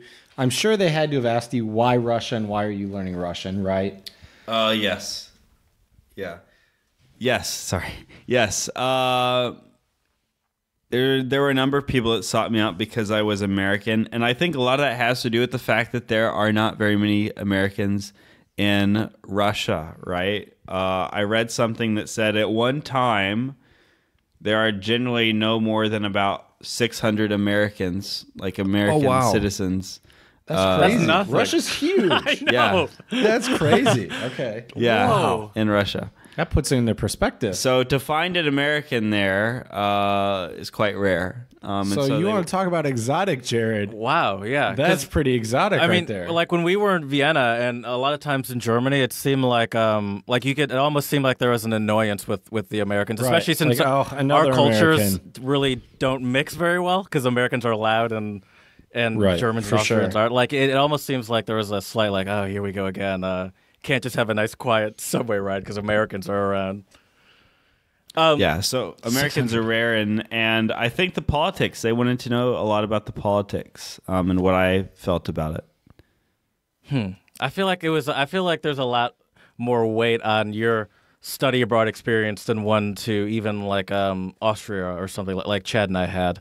oh, for where, sure. where they or one they have they expect so much more from you, and then there's all these like and, and there's just like there's just this in, interesting relationship that goes back so long where it's like this sort of um, love hate relationship with each other, and I wouldn't even call it love hate, but like this weirdly sort of like. I, I don't passive aggressive. I guess it's Cold War. So, Right. like, I also feel like for David's case as well, like he could have been one of the few Americans that probably some Russians have ever met in their lives. Right? Oh, yes, that- I mean, when it's 600, yeah. I mean, these both these places, I assume, have populations of millions. Yes, Just yeah. Moscow and St. Petersburg alone is what I meant. So, like, I imagine Right. that. Yeah, most people are not. That, I would not even have imagined that uh, small of a that that low of a number. My mom used to have to go to Russia every year for her job because they're um, they were owned by some Russian billionaire, their company, and uh, she she she didn't she didn't hate it. Well, she hated it, but not because she hated Russia. She thought it was beautiful. But once she like had a driver to take her everywhere, and it was just like hotel to like these parties. And she said they drank a lot. And and my mom is Yeah, not. that's a what I've heard. Is my mom's not a big vodka drinker. She's like, "Can I just get a glass of wine?" They're like, uh, "You don't want uh, any shots?" She's like, "I'm good on the shots." yes. Russians are big about their shots and vodka. Uh, vodka, you know, not everyone drinks vodka, but vodka is definitely a preferred drink in And Russia. is there anything you can tell us and our listeners if you were to go to Russia in terms of drinking culture? Like what's polite, what's impolite? You know, how, how do you navigate these uh, these vodka soaked waters? That's a very good question um, because you can offend a Russian if you don't, uh, you know, treat Oh, their you're no invitations for drinking. Yeah. Right. So you generally, I would say, before you go to Russia, start liking vodka or at least know how to take one shot of vodka. okay. Um, and I think some Russians would be okay with you saying you don't drink if you don't drink, but for most Russians, they would they would probably find a little strange. Um, I would say they're going to offer you some shots, probably vodka. Take the first, and in a formal setting, actually, what you're supposed to do with the vodka shot glass is turn it over. Okay. That means you do not want any more. If you put it back Ah, upright, They're just gonna Okay. keep filling it up. they will fill it up again, and then you have to take the shot, or it's rude. Oh, that's really good to know. Yeah. Okay. Oh, or it's oh, okay. That makes sense. That makes I mean, sense. yeah, but that could get dangerous. that could it gets Especially very if you're an dangerous. American drunk that- and you keep forgetting to An American that doesn't think about it too, or it's like, oh my god. Yeah. So did you have to, like, was was it an adjustment? I mean, you're in college, so I, I don't know. How, I don't know what your drinking levels are, but most college people are at least slightly prepared for unnecessary levels of drinking. Yeah, um, I would say the drinking. I would actually say if we're talking about American colleges, the drinking culture in Russia with Russian university students is not much different. Okay. Um, I've just to throw it back to the Czech Republic here. Uh, the Czech Republic, as I'm sure you've talked about, you know, has a a rich culture of drinking beer. You know, people like to go to the pubs and drink beer. Russia, I feel like the drinking culture is more often centered around parties and you know Right. drinking shots at parties and similar things that you do at an American party. So they're uh, okay. So uh, their their their drinking culture also lends itself more to the partying because it's like quick shot then back to the partying rather than check. It's where, where it seems more of a sit down and drink beers all night or whatever. Yes, that absolutely. I Yeah. think so. Yeah, I prefer the sit down and drink beers all night. I, I don't. I, Wanna, d- I Yeah, do as too. well. did I did think you? we're all on the same page there. So did did um was that a disappointment with the nightlife side of it because that that's really the main thing. Because that kind of honestly even for me in Austria it's it's a kind of a mix of both. There's obviously the sit down and drink all night but there's also plenty of opportunities to go party all night. And a lot of our study abroad friends were seemed to be more of the my my roommate was a drinker per, like a sit down but a lot of them were like go to the club people and I hated that. And Yeah. um, I, I, I often find myself like doing the pregame with them and being like, "All right, see you guys. I really don't want to go to this club. Like, I really don't want to go," and just going home after that. Yeah, I would say the same. Um, I'm not much of a club person either. There are a few clubs in St. Petersburg, um, but there there are a few bars as well. You can find beer, right? You can definitely find beer. How is the beer there? Uh not good? They it don't, very they don't high. spend much time focusing on it, but you can find it them. is very low in quality and very high in alcohol percentage. Um, Is- so is- it will get you drunk for sure. So even I was, it's because they're is it because their culture is so centered around the vodka that like the beer, even like your like it just seems like this is it's just not what they're used to. It's like this slow process. It's just not a priority. Yeah, Right. I- actually, it's just there's a different uh, way of doing it, I guess. In the 90s when russians you know had more exposure to beer beer came to russia. Uh, i mean it was always there but you started to get more variety. Um, a lot of russians started drinking beer because they associated vodka with like you know people of a lower class. It was considered you know not proper or or low class if you will to drink russia so a lot of russians who think highly of themselves um, So the hipsters in Peter. the hipsters in Peter like beer, so you can find beer. This is in IPA. Peter. Yeah, yeah, it's the IPA. What's the percentage usually of beers in Russia? Oh, I'd say, oh wow, Is it Um, 16 degrees? It's at least seven percent okay and higher. Many fregista. Damn. yeah, that's that's uh that's aggressive. I mean, for for like the average, that's aggressive. I yeah, say. it's pretty high. So so tell Jared about the about the fish card. The fish card. That one card you had for the bars. Oh, okay. Do I have it with me? So, yeah, go ahead. do I have it? Can you show this? Oh yeah. Can you we show might this? we might have to get Can a picture of that on the eventually. podcast? too. oh, that is a cool looking uh that is a cool looking card. So this is my uh, Killfish bar card, and there was a bar uh, not far from where I lived, and at this bar, it's called Killfish in English. They have it written in English. Killfish Discount Bar Okay. is the official name for it. Um, and uh, it was a bar close to my house, and mostly students would go there. You know, I want to, you know, message my buddies and say I'm going to the bar. I would just head there about eight o'clock on a Tuesday and know that they're going to be there. on a Tuesday. Yeah, on a Tuesday. Um, and so this was my card. You know, you had to pay like a regular price for the very high alcohol beer and vodka shots without the card. But when you had the card, it's much cheaper. Okay. So and and they like loaded points onto your card. So after you bought, I don't know. You know, get like a 10 free one after. Yeah, So many. ten beers, you get a one beer free or something. And is that like common in a lot of places in Russia or just this one place? Um, Yeah, I've never I seen think anything like that before at a bar. me like either. I've seen that concept before, like a grocery store, yeah. but I've never seen that at a bar before. I I hadn't either. Uh, yeah, I there's another. I I've totally forgotten the name of it, but there's another bar in St. Petersburg with the same concept where you have a card. Um, but it's mostly in Russian cities. You wouldn't find it in like a small Russian city. Okay, Sure. right? Makes sense. Yeah, the bigger the bigger places. I mean, it's probably expensive to do. You probably have to at least have a good em- enough like customers coming in and out to make it worth it. I would assume. Oh yeah. Yeah, that would make sense. So I've got a question for you, David. Um, obviously, life in Russia was, I'm sure, a, a culture shock for you. But what about you know what about learning the language? Like how how much would you say that your Russian improved, and and you know how did you overcome kind of that initial language barrier and anxiety to meet people and, and talk? Because you know I felt that way since I've been in the Czech Republic. Um, so so what are some things that you've been doing or Yeah. that you did? So I guess I'll start out with a comment on the study abroad program, and, and then I'll answer your question. So when I was looking at the study abroad program, uh, one thing I I had heard all these stories of people that they went somewhere and like they studied with mostly Americans, and it was mostly English that they spoke. And I said, you know, I really want to go somewhere where I'm actually going to be speaking the language the whole time. So that's why I chose this program. And all of my classes were with Russian students. That's Uh, intimidating.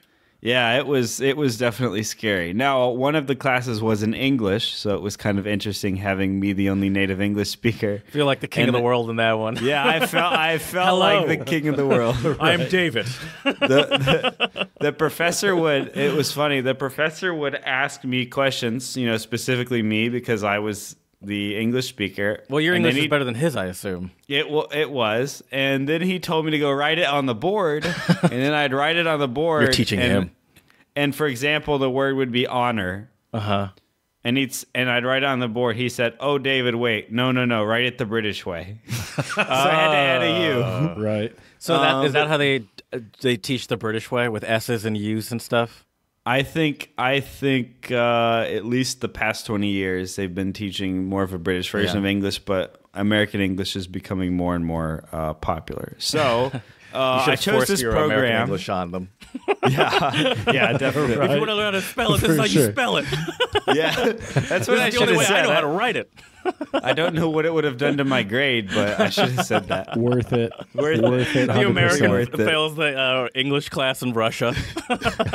Why'd you fail? American English? Yeah, right. So, um, so I had, a, you know, I was in these classes with all these Russians, and you know, I became great friends with some of them. They invited me to all sorts of stuff. Um, and it was there that I got to, you know, really speaking Russian, really having informal conversations with them, talking about everyday things. Um, and it and it was a bit of a baptism of fire for sure. Like uh, baptism by fire. What is it? By fire, Baptism by fire. Um, you know, me having this reading and writing experience, but no real speaking experience because I didn't have a native uh, professor at my university. They were Yeah, they were all. American professors that had taught Russian. So th- I mean, they knew it, but like I It's a didn't to totally speak different. Uh, it's still Yeah. totally different, I think. yeah. And so it, it was baptism by fire speaking to them. But once I got past it, you know, a few weeks in, I was able to speak with other people, you know, go to the go to the killfish bar with my killfish card and speak with some Russians. And by the end of my time there, it was it was um, I'd say my speaking ability improved threefold. So, what would be some tips for our listeners out there if they were to go not only to Russia but just study abroad in general? What would be some tips that you'd give them? Because, as you mentioned, you started learning Russian in college, right? So, Jared and I um, had had previous German experience before we studied in Right. college and then went to Austria. But I think there's a lot of students out there who start learning a language in college and realize the benefits of study abroad and want to study abroad. So, what are some tips you would give them? Yeah. So honestly, the first one is uh, what I mentioned about the study abroad program. If you're if you're having trouble choosing a study abroad program, um, I would say, you know, no matter the program, go with one that's really going to put you into the culture and into the language. Um, I would always discourage a program where the majority of your exposure is to you know your own culture. Say if you're on a program um, and you're only talking to Americans. Yes, of course, you're going to talk with Americans. You're going to need that you know base um, and those American friends that you can speak with and share your experiences. That's important. But that shouldn't be your only experience. You should be interacting with the people and the culture. Um, along that cultural note, um, before you go there, you know, familiarize yourself with the culture. Um, make a real effort to know, you know, what is the cultural norm, what are the cultural norms, what's right, what's wrong, and when you get there, continue doing that. You know, really jump into. it. So, can you give us some of those cultural norms, either that you researched before you went or that you learned while you were there? For example, the hmm. vodka thing. Did you learn that before you got there or the hard way? I had heard it, but it's a lot different from when you hear it to when you're in someone's flat and Right. they off they're offering you shots, and the next thing you know, you're on the couch, um, and it's eight a.m. and it's eight a.m. the next morning.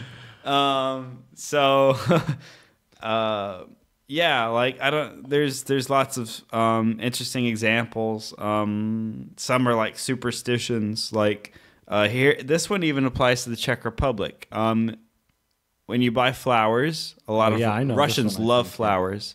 Um, a lot of people buy, a lot of men buy flowers for their wives, girlfriends, moms, whatever. Um, always give an odd number. because even numbers are for funerals. Even numbers right? are for funerals. So like things like that. And then and then bigger things such as, you know, how you should act on public transportation. Um, and maybe even like political and historical sensitivities, right? You know, be respectful when talking about say in Russia World War II. Because Russia lost, I think, around ten percent of its population in World War II, which is huge. So, are you saying if I go to Russia, I shouldn't wear a Back to um, two times consecutive, yeah, World War II or World War champs? Because I've That is seen Americans worst- wear those shirts. that is the yeah, worst Those shirts are so shirt. shitty. I think a Russian would be. I think if well, if you wore that shirt around some places in St. Petersburg and a Russian understood it, you you could stand a chance of getting in a fight. I Okay. fully support that. Right, me too. Those shirts are so horrible. Like Yeah, really, you got to they're so brag about. Yeah. Oh my God. they are. They really are. So, what? Anything else? Superstitions or, or just cultural things?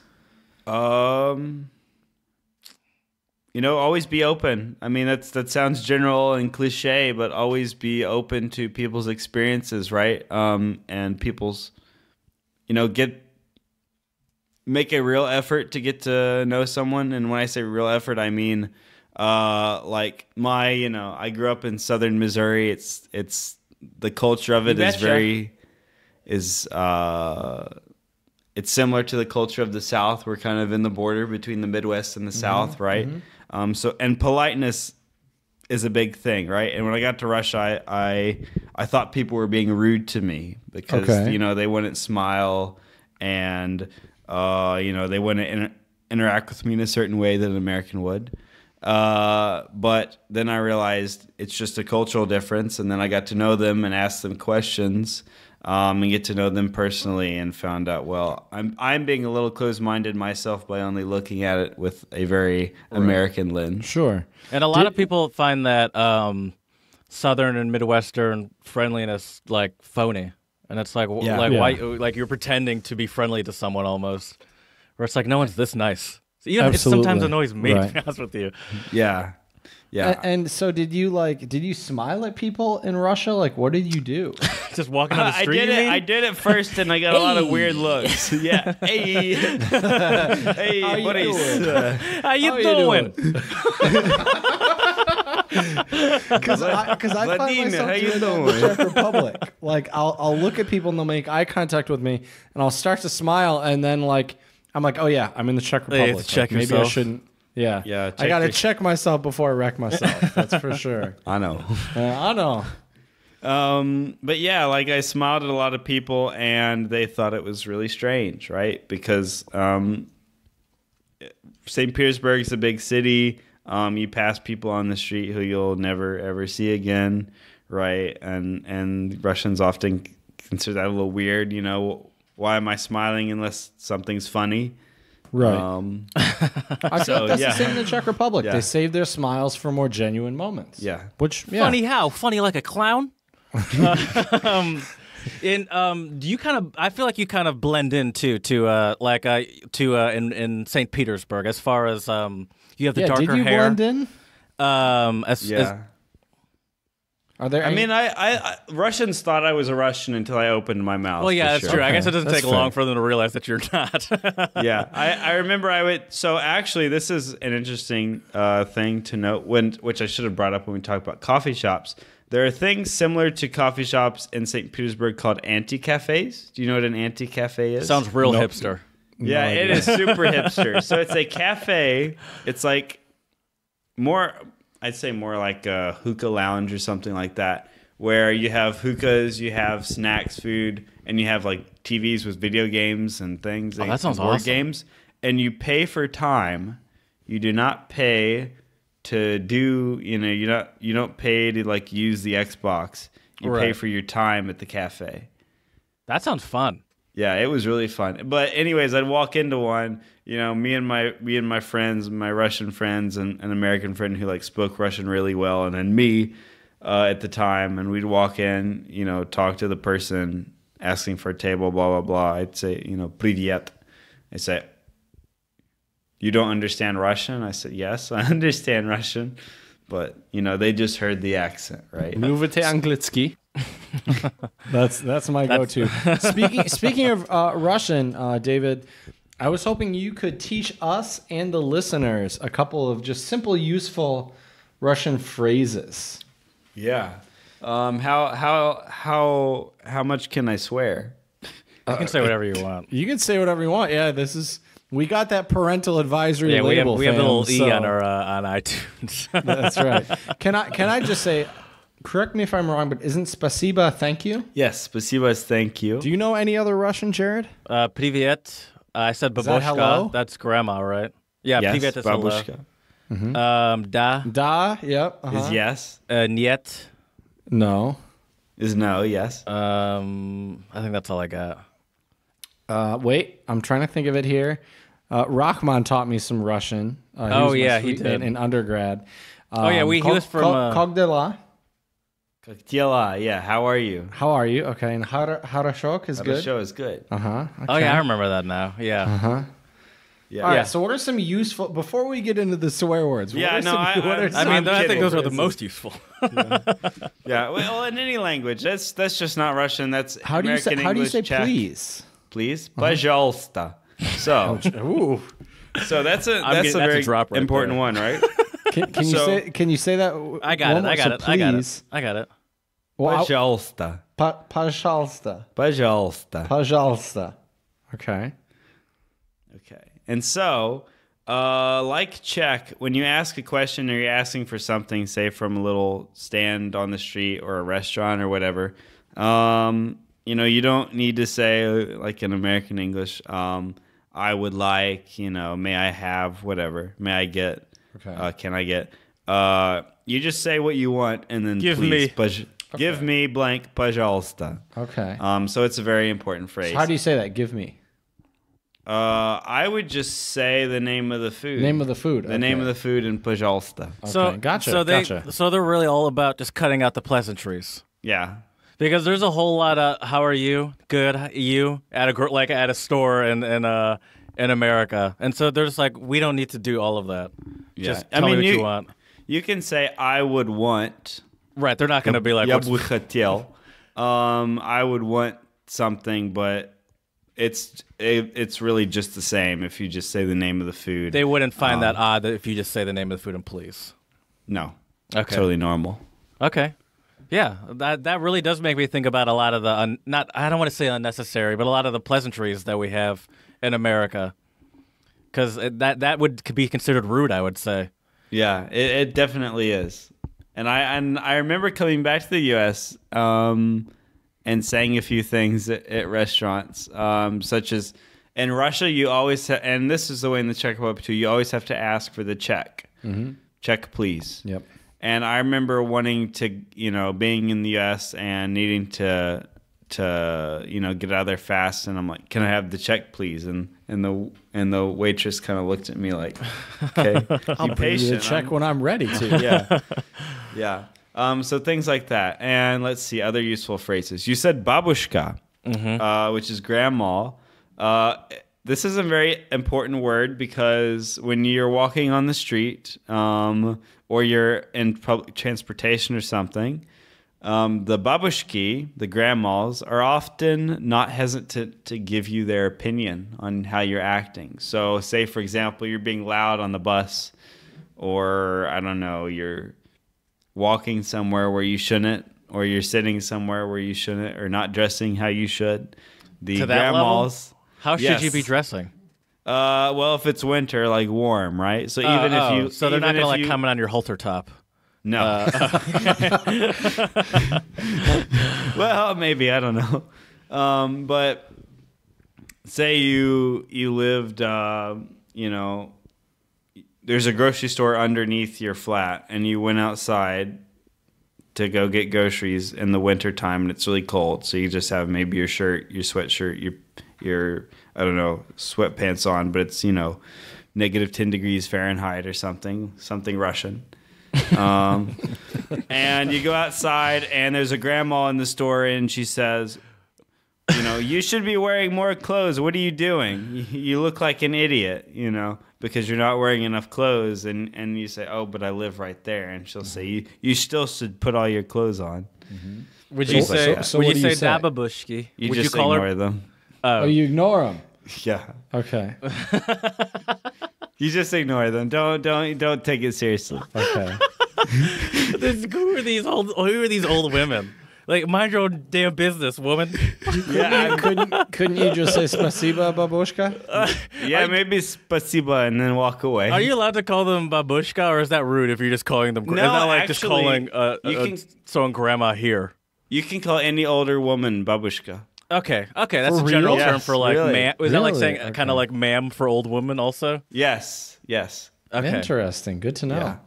yeah, because because to me it, would I would find that odd just calling some ran, s- just some random old lady grandma.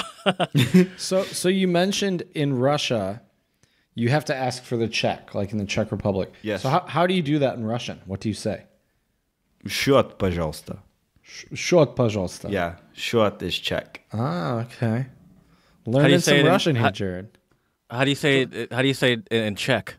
Uchek prosim, which is literally check please, or platit prosim, like Okay. pay please. Okay. Right? Am I right? Do you, are you are you better than Chad at um at um Czech? I, I would say he is. I would say he is. He's, The- the he's a humble guy. I would say he The is. Russian definitely gives me an advantage. But Because we're Right, going to you're right. Dresden tomorrow, so tomorrow is my time to shine Chad's in gonna Germany. floss. That's, that's right.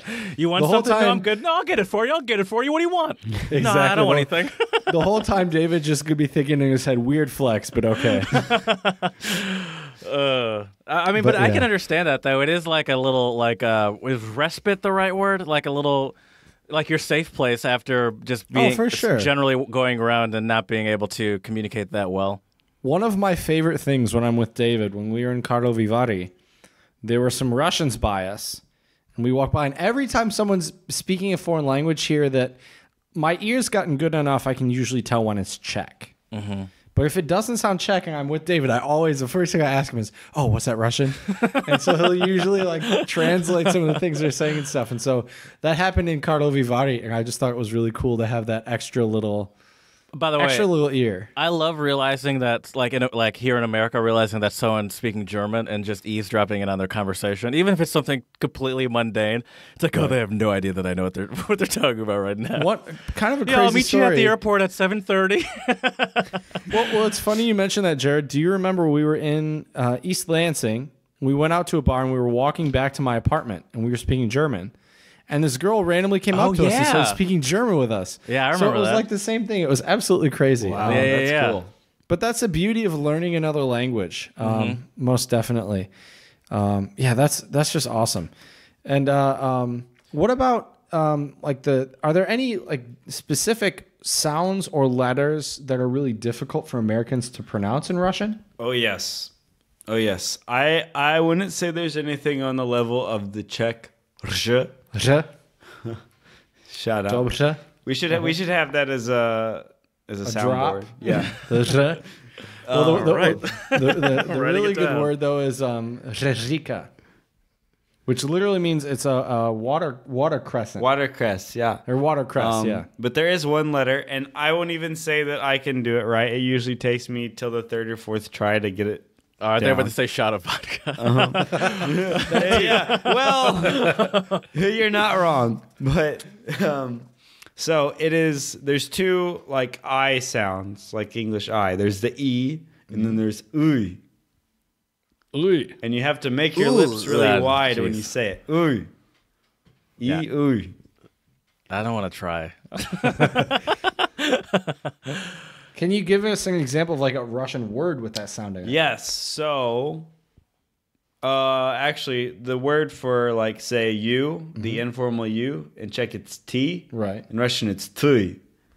Tui. Tuy. Oh, that's pretty good, Um, you Chad. got- Thank you. Yeah, that was good. Okay. T is Czech and then tui. Tui. You gotta really like stretch your Yeah. mouth. Like it's It's fun to watch. So would Interesting. say. I'm enjoying it from Okay. this side. interesting. Okay. Now now speaking of Czech and Russian, since they're both Slavic languages, um, I'd like you to enlighten Jared and our listeners um, about about that one number difference we talked about earlier. So Czech and Russian, there's a lot of number similarities. At least what David has told me. I don't speak Russian, so I have no idea. But I, I think the man knows what he's talking about. And So, all right. So this came from my, I think he's now 77 year old uh, Russian professor who studied Slavic linguistics at Yale. Um, he really cool guy. So he told me my first year we were going through the numbers, right?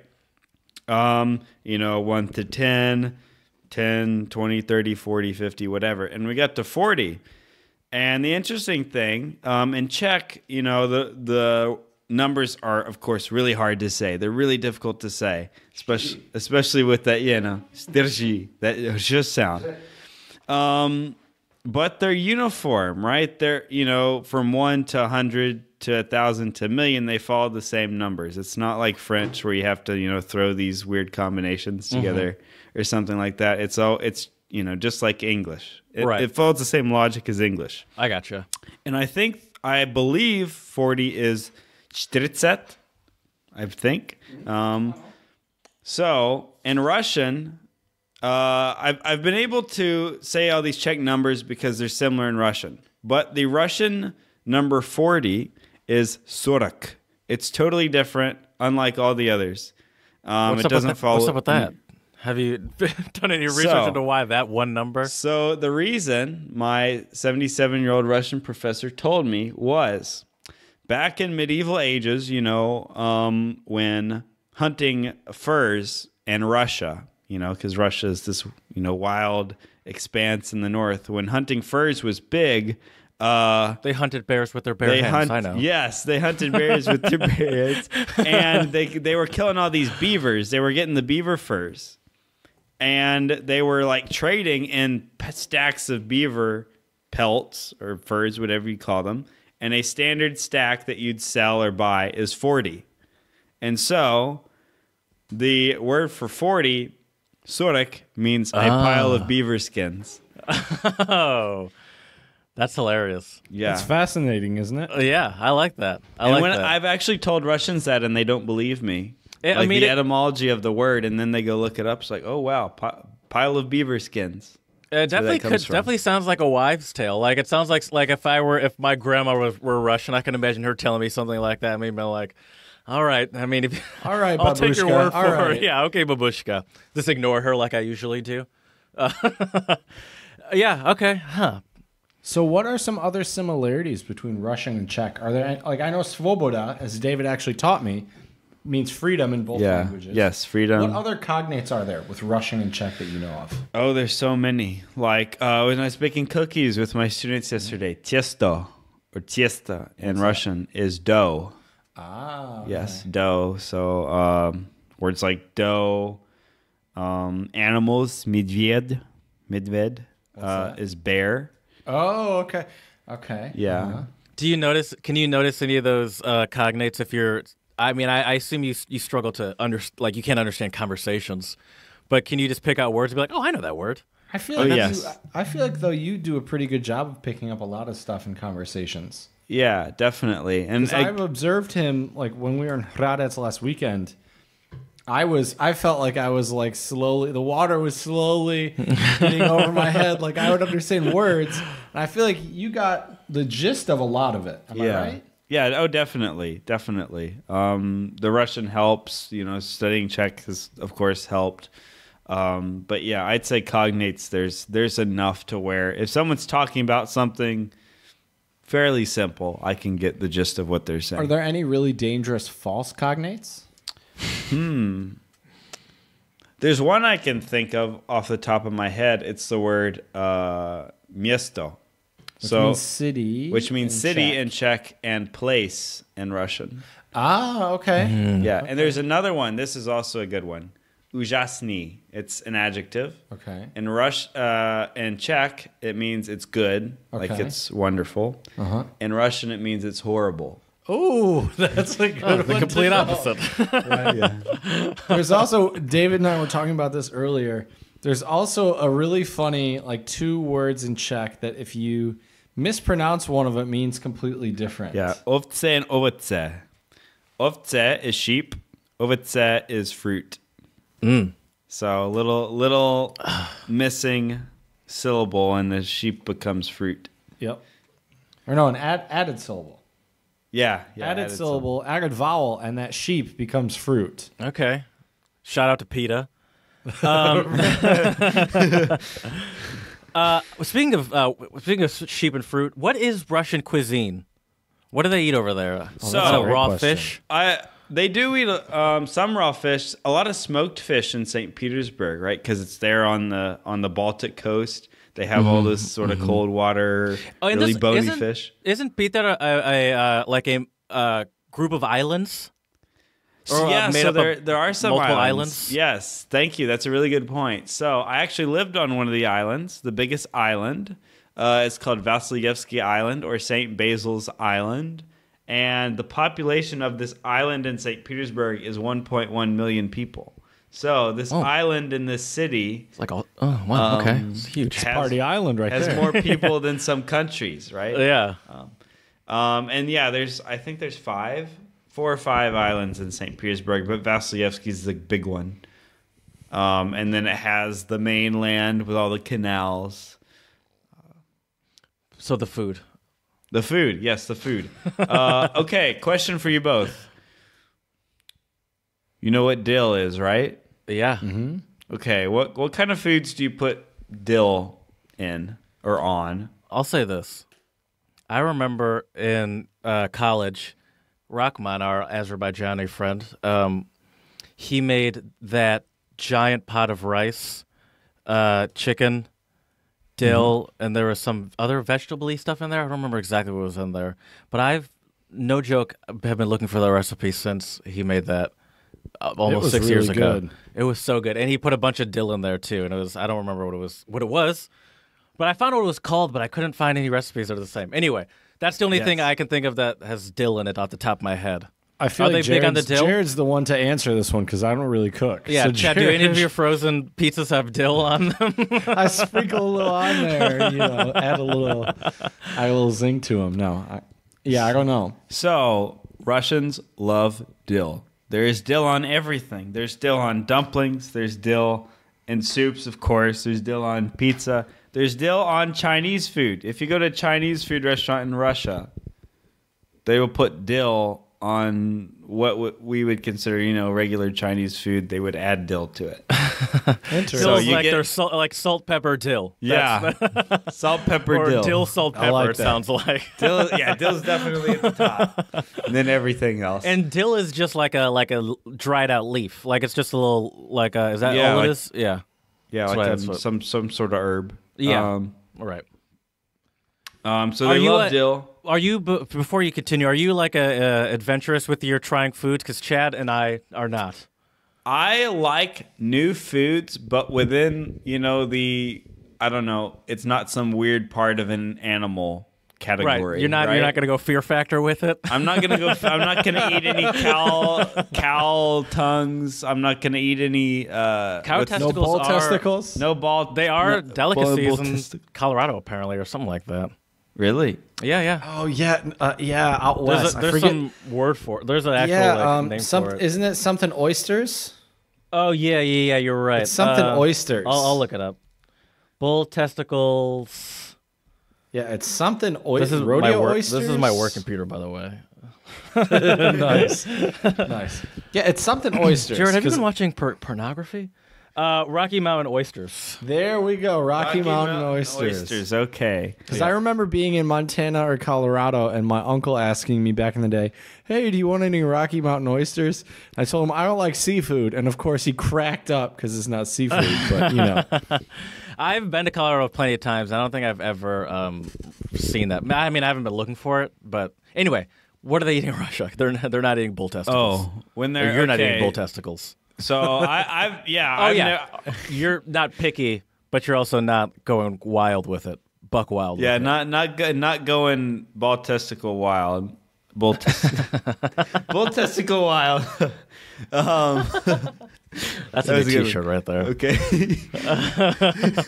okay. Uh, what else? Lots of soups. So many soups. So many Yeah, soups. it seems like the Czech Republic has that uh, in common. They they Oh, seem yeah. to be It's big on their soups there too. I've had Um, some good soups while I've been Oh here. yeah. Oh yeah. And they really like pumpkin. They like pumpkin and all sorts of ground vegetables. What, Pumpkin. what about the tomato? You got to tell the tomato story. The tomatoes or the eggs. Your host mom and the tomatoes. Oh yeah, my host mom. I don't know. She so I live with a host family. Uh, a lot of people live with like a lot of the other Americans that were on the program live with whole families, big families. I lived with a single host mom. Her name was Svetlana. Of course it was. And of course it was. By the way, I have a co- I have a coworker. At, she's not a coworker, but she works on my job. She's from Russia. Her name is also Svetlana. is she from St. Petersburg? I don't. I don't know. I don't, I'll have to I don't ask think her. I've- I've never how do you, actually how do talked you to say her. in Russian, how are, or are you from? Uh, T or V is Where are you from? России. Откуда, откуда вы, откуда ты? So it's kind of like Czech Yeah, a little. yeah, Okay. yeah. Okay. Yeah. So where are you fr- from? From where do you come? Um. So I live with her, and she was always very nice woman, but she was always saying these kind of wacky things, like, you know, Was she a babushka? Would she was definitely a babushka? babushka. Um, Okay. She was always saying like she heard some things on TV. Um, you know, Putin kissed a baby and and adopted ten puppies today, and she'd tell me about it when I got home from school. Um, Was she? and- Is she a big fan of Putin? Yeah, quite Okay. a big fan. Um, Are are a lot of Russians big fans of Putin?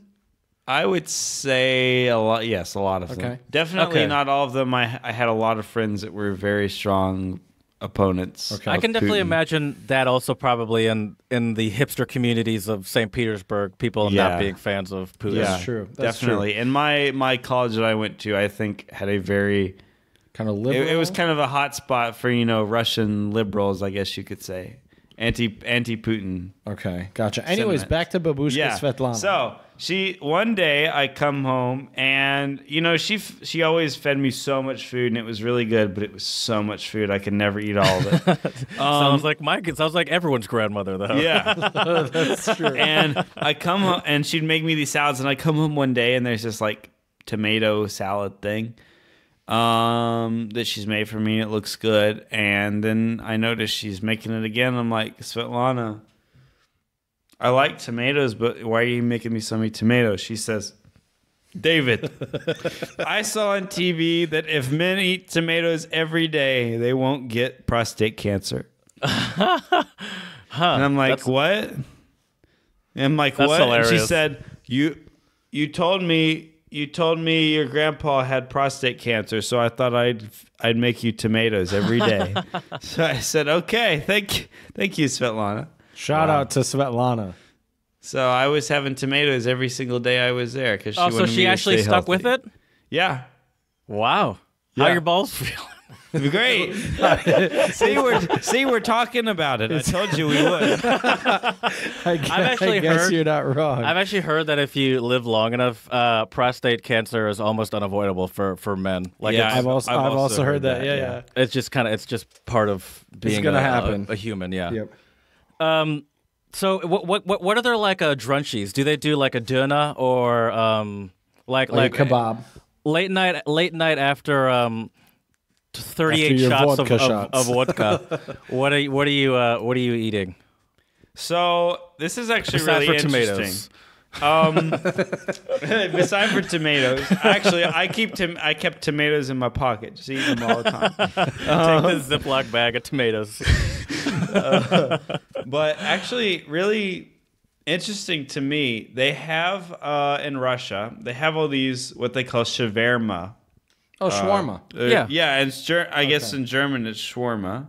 Oh, and that's same in America too. Same, same in America. Yeah, but in Russian it's shawarma. okay. Um, Of course it is. Um, and so they said it was shawarma, but I've had shawarma in the U.S. before, and it's very different. The, their shawarma is something like a sh- American shawarma. Well, there's uh, dill in it, we know that. Yeah, there's dill in it. Uh, there's dill in it. It's something between a uh, American shawarma and Turkish kebab hybrid. Like it, it's in a wrap, right? Like a kebab would be, and you eat it like that. But the ingredients are what you'd have in shawarma. And Okay. it's quite good, um, especially especially as drunk food. It is very Right. good. Right. And you have all these little stands around the city that sell it. I've heard um, uh, Peter's a pretty cheap city to live in.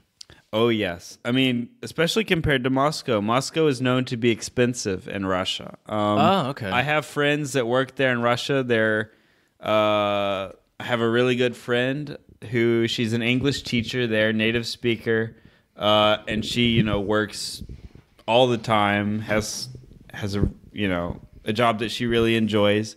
Um, and she says, you know, it's it's really tough living in Moscow because the prices are so high. But St. Petersburg, on the other hand, uh, compared to Moscow and Europe, is really cheap. Okay. Uh, you can you can get by on not a lot. You can actually, it's really easy to rent an apartment in St. Petersburg. You can probably rent an apartment for I don't know. In certain parts of the city, two hundred dollars a month. That's good. Do you? Uh, this makes me cry a little bit. Uh, do you um, have plans on going back for like I would- extended periods of time? I would love to. I actually, um, I'm thinking about going there next year, or to another Russian-speaking country, but I'm definitely not sure. When when you were there, did you uh, did you travel around anywhere? I did, uh, and I was also going to say on Russia that is what I recommend. Right, so I went to Moscow, had a great time, had How do you such get a there? fun time. Uh, there's a train. There's a speed train that goes between Moscow and St. Petersburg. It's called Sapsan, which Mm-hmm. is the Russian word for a pereg. Uh, was it peregrine falcon? Right. Inter- okay. You know what a peregrine falcon is? I Like know what a- a falcon is, but not Yeah. specifically the so peregrine this, kind. Uh, but I, the peregrine falcon, it like dives at 200 miles an hour. oh, Oh, cool. yeah, yeah, yeah. All right. I- yeah. That's a Sounds cool name for a train. Yeah, for sure. yeah, it's a badass name for a train. Um, and so there's that train, and it takes four hours to go between St. Petersburg and Moscow. Um, so that's because nice. they're pretty far away, aren't they? Yeah, uh, I, I mean, I don't know, I don't Exact know the exact mileage. distance, but it's it's quite a ways. Um, so I went there, but I would recommend, especially if you go to Russia, go to a smaller city because you know St. Petersburg and Moscow they are their own cities. There's a culture of each city. Uh, ev you know that's where people go. But if you want to you know understand the real Russia, get a sense for Russian culture, Russian history, go to a smaller city. I went to a few smaller cities. One that I thought was very interesting was one called Pskov. Um, it's near the Estonian border, and it's this really old medieval Russian city. It has these old medieval walls, and uh, you know you get the real feel of Russia there. You you understand. Uh, you know you see these old paintings of Russia, and it's kind of it's kind of bleak. It's kind of dark, uh, but it's A lot very of grays. a lot of grays, a lot of lot of dark greens and browns. Um, but you kind of feel, you know, what I'd call the Russian soul, right? Right. Um, you feel it there, and it's a really interesting city. And uh, I thought the people there were were interesting and nice. So I mean, that's that's definitely I'd say probably j- the case for just about anywhere where it's like Yeah. if you really want to understand the culture and the people, you have to get out of the big cities because there's just too Absolutely. much too much.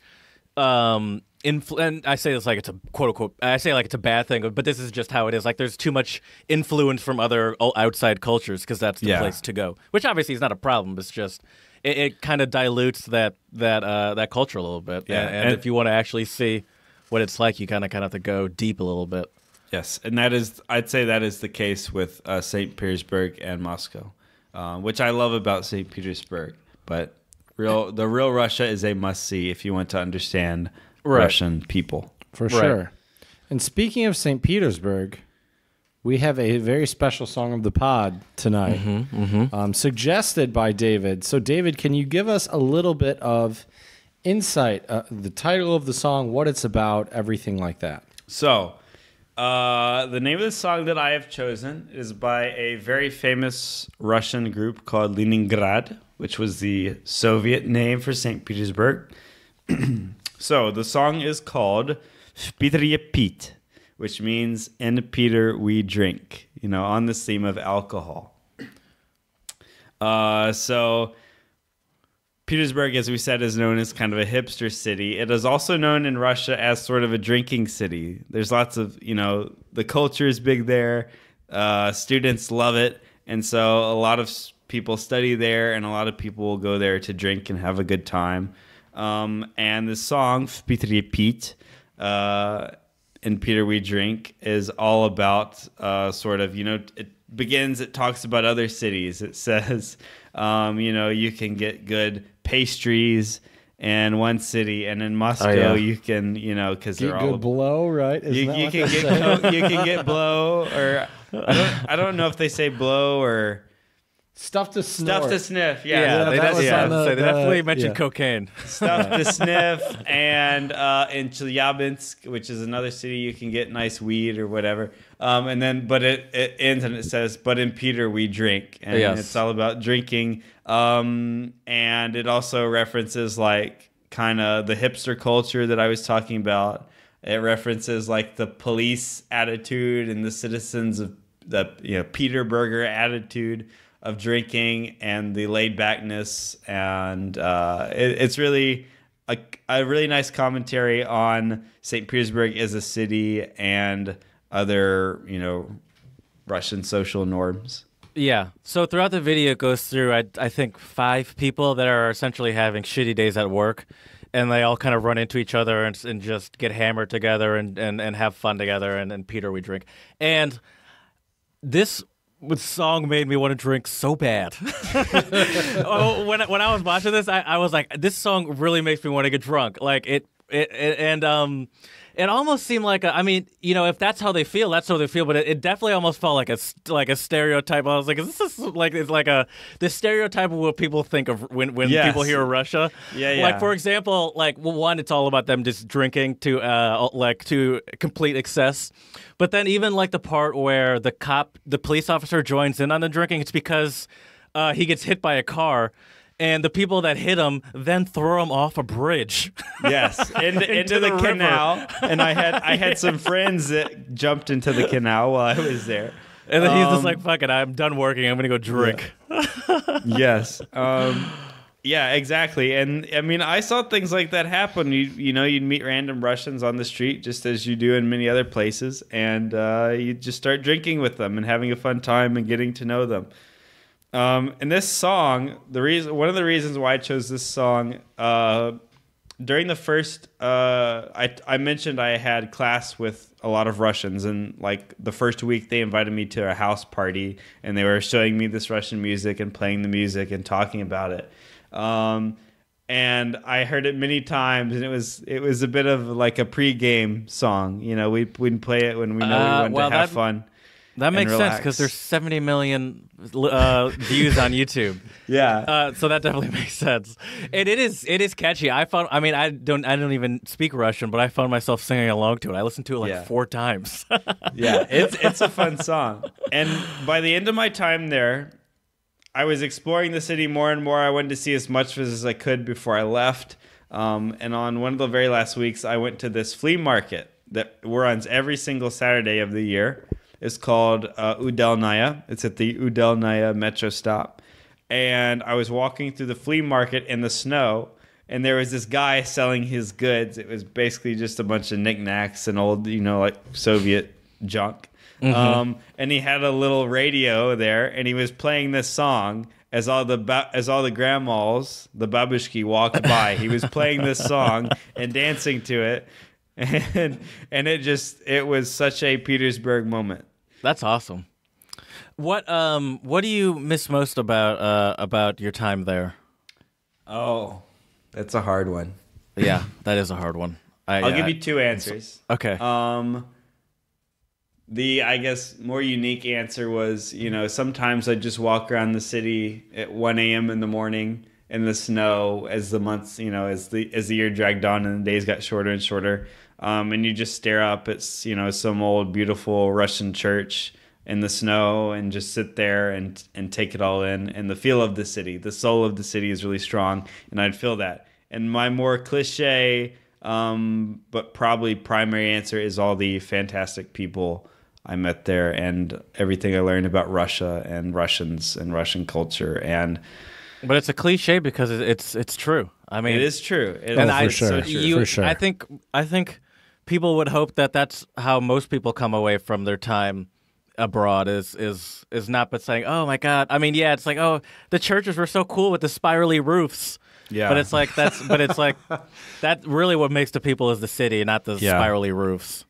yeah Are there spirally roofs in St. Petersburg or is that There just are. a Moscow thing? Okay. there are Those are cool to look at. I hope you become an architecture professor. Is that is that the proper term? Spirally roofs. if it isn't, it should be. so check out our song of the pod in Yes. Peter We Drink. Yes. Which will be on our Twitter, Untranslatable One. Check it out. We hope you enjoy it. It's got a great kind of jazzy kind of feel to it.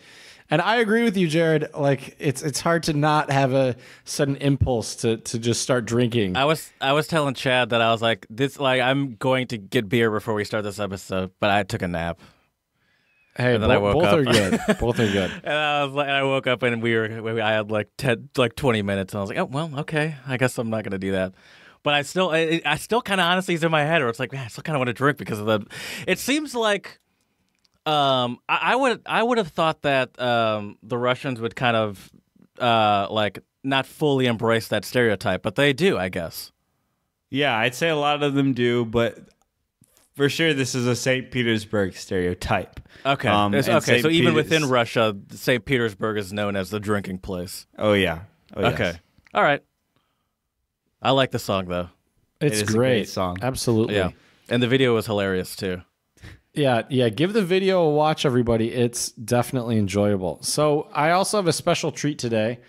Um, this Czech word of the pod, I think, is incredibly useful. Um, and uh, I'm going to let David take the reins on this Czech word of the pod um, because he has a special story for it. He also taught me this word, and I have also started to use it in my Czech vocabulary. So take it away, David. So one night uh, or one evening, I was with my students um, at a like club event, and uh, we were talking about Czech words, and they said, "Oh, we need to." I I teach in this town called Hradec Králové, as I mentioned in the beginning, and they said, "Oh, we need to teach you a Hradec word. Everyone in Hradec knows this word."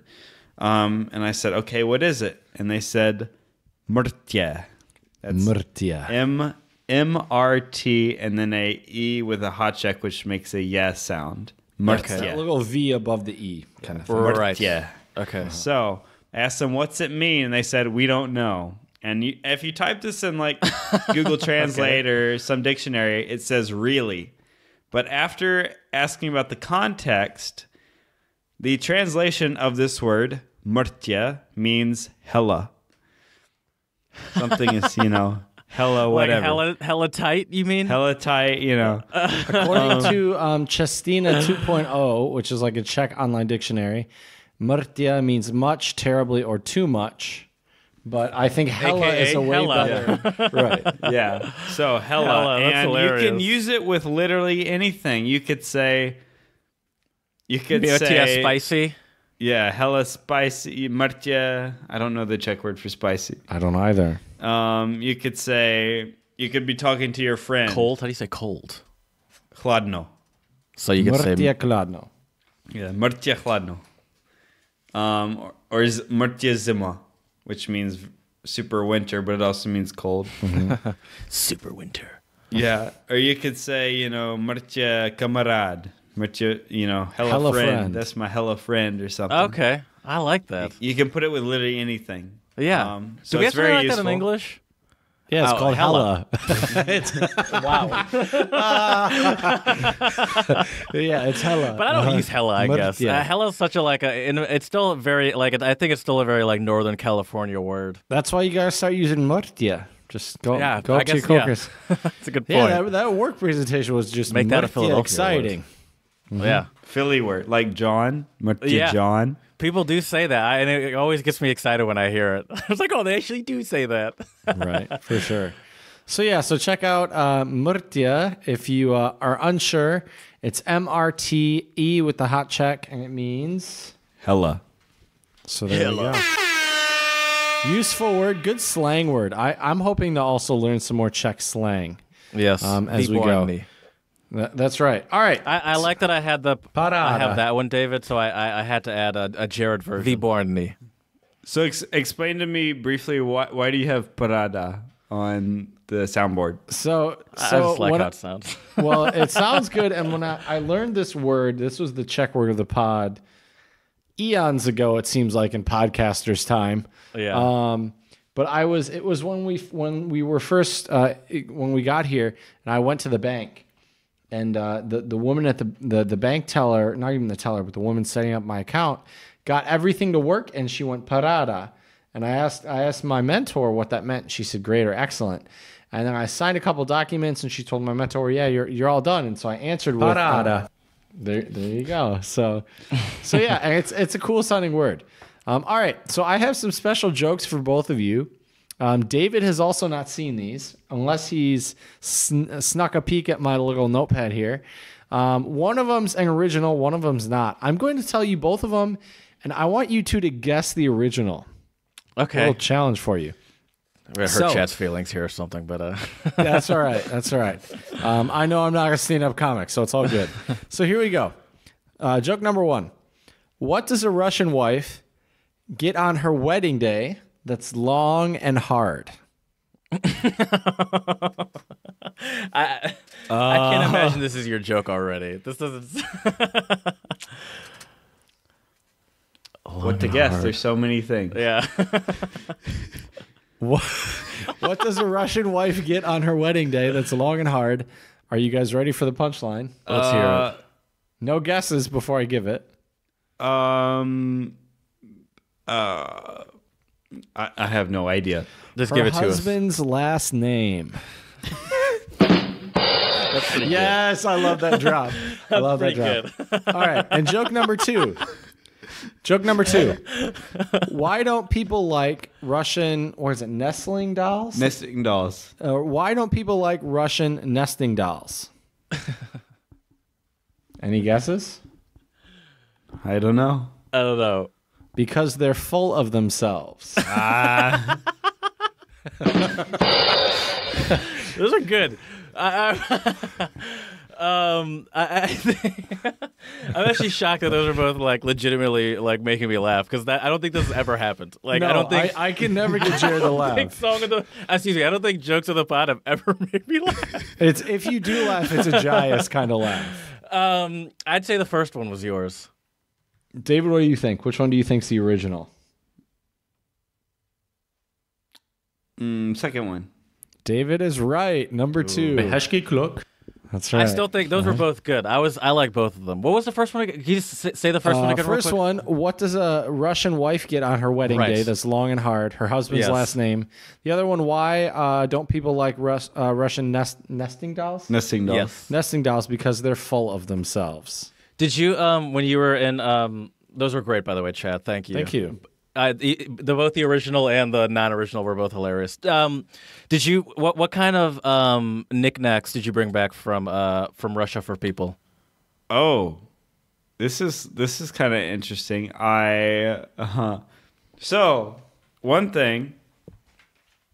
This Killfish bar, the one that I went to every well a lot in the beginning and less as time went on.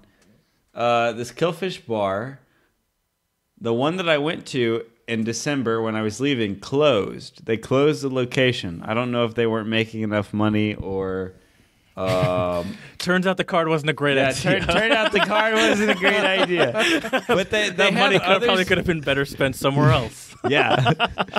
there were other locations still open, but this one closed. And I don't know why they honestly I don't know why cuz they always had a huge crowd. But they closed and so there was like a closing party. And there were so many people in the bar that night. And uh, they were selling employees t-shirts like work shirts. and I said, Man, there's nowhere else I could ever get a Killfish shirt in my life. I got to get one. So I bought from the bartender his shirt. That's awesome. and now I have a Killfish shirt. I, Okay. I washed That's it. hilarious. I washed it. Wait, um, he took it wore off, right? Yeah. He's- uh, okay. He had another shirt, but he's Right, like, right, right. he's like, I'll sell you anything. I'm like, can I get like a shirt? He's like, yeah, you can have this In your one. left shoe. in your left shoe. Give me that sock. Do you yo. still wear it? I actually, it has some holes in it, and every time I've washed it, I've worn it and washed it, like the holes get bigger, so I kind Uh, of a little stopped wearing nervous it. to. Uh, yeah. Yeah. yeah, I did. I don't have it in the Czech Republic; it's in the U.S. right now. But I have Okay. that, and like, there's really cool flea markets, like the one I was describing earlier. We can you can buy anything from like someone's old Soviet war medals to an accordion to a I don't know German uh, deactivated German hand grenade or something. Right. It's, it's really yeah. You, really you better strange. hope that bad boy's deactivated. Yeah.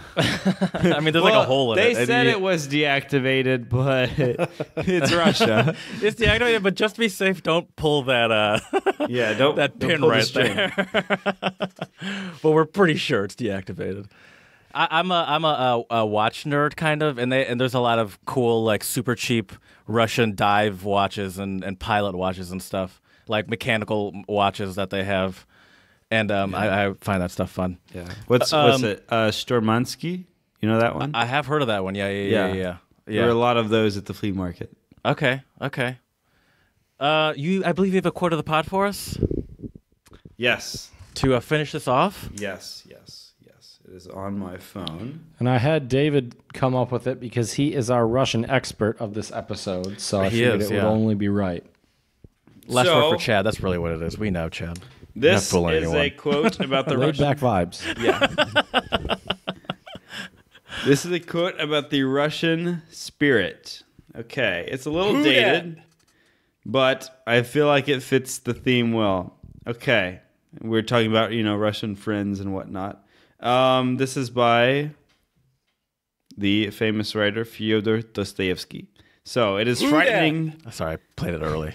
It is frightening how free a Russian man's spirit is, how strong is his will.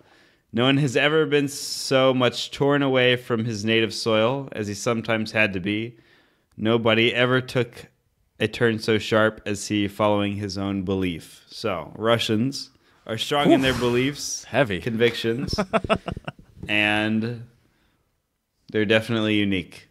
Um, do you do you do you uh um do you think you fit that sort of uh um, personality trait? Is that why? Is that what a, is that what uh, attracts you to that? Maybe. I, I hope so. I def well, I'd say this. I don't know the answer to your question, but I'd say after going to Russia, m- that's much. I think so more than before. I You had gone. appreciate it. You definitely I appreciate it. Yes. Okay, that's fair. And I, I That's yeah, I mean, it definitely seems like even just to to not saying I would like and stuff like that. It definitely seems like something you have to get used to. And either I could I could definitely see someone not liking that that culture and and and completely understanding that and being like that makes sense. But that's I think also part of the beauty. Not everything's for you. That's for sure. That's the beauty of going to different cultures and traveling and, and trying to figure out that special place for you, you know? Um, So, yeah, so we really appreciate the quote and all of the expertise and insight. Yes, and thank you so much, both of you, for having me on your show. I've enjoyed it. Enjoyed talking about Russia, Oh, we I I enjoyed it too. That was a lot of fun. Thank you. Absolutely. and I recommend it to everybody. I think it's such an interesting place um, with such an interesting culture that is unmatched. Absolutely. Absolutely. So we hope this was also insightful for all of you listeners out there. Maybe it will also invigorate a few of you to take the trip to Peter or St. Petersburg. Um, and we would love to hear your opinions about um, this episode and all of our other episodes. So please send us a message. Uh, you can slide into our DMs on Twitter, untranslatable one. You can also um, check out some of our uh, clips and interesting photos on Instagram, untranslatable podcast. And if you have any suggestions of future topic ideas or untranslatable words, or have a travel story you would like us to share on the podcast, shoot us an email at untranslatablepodcast at gmail.com.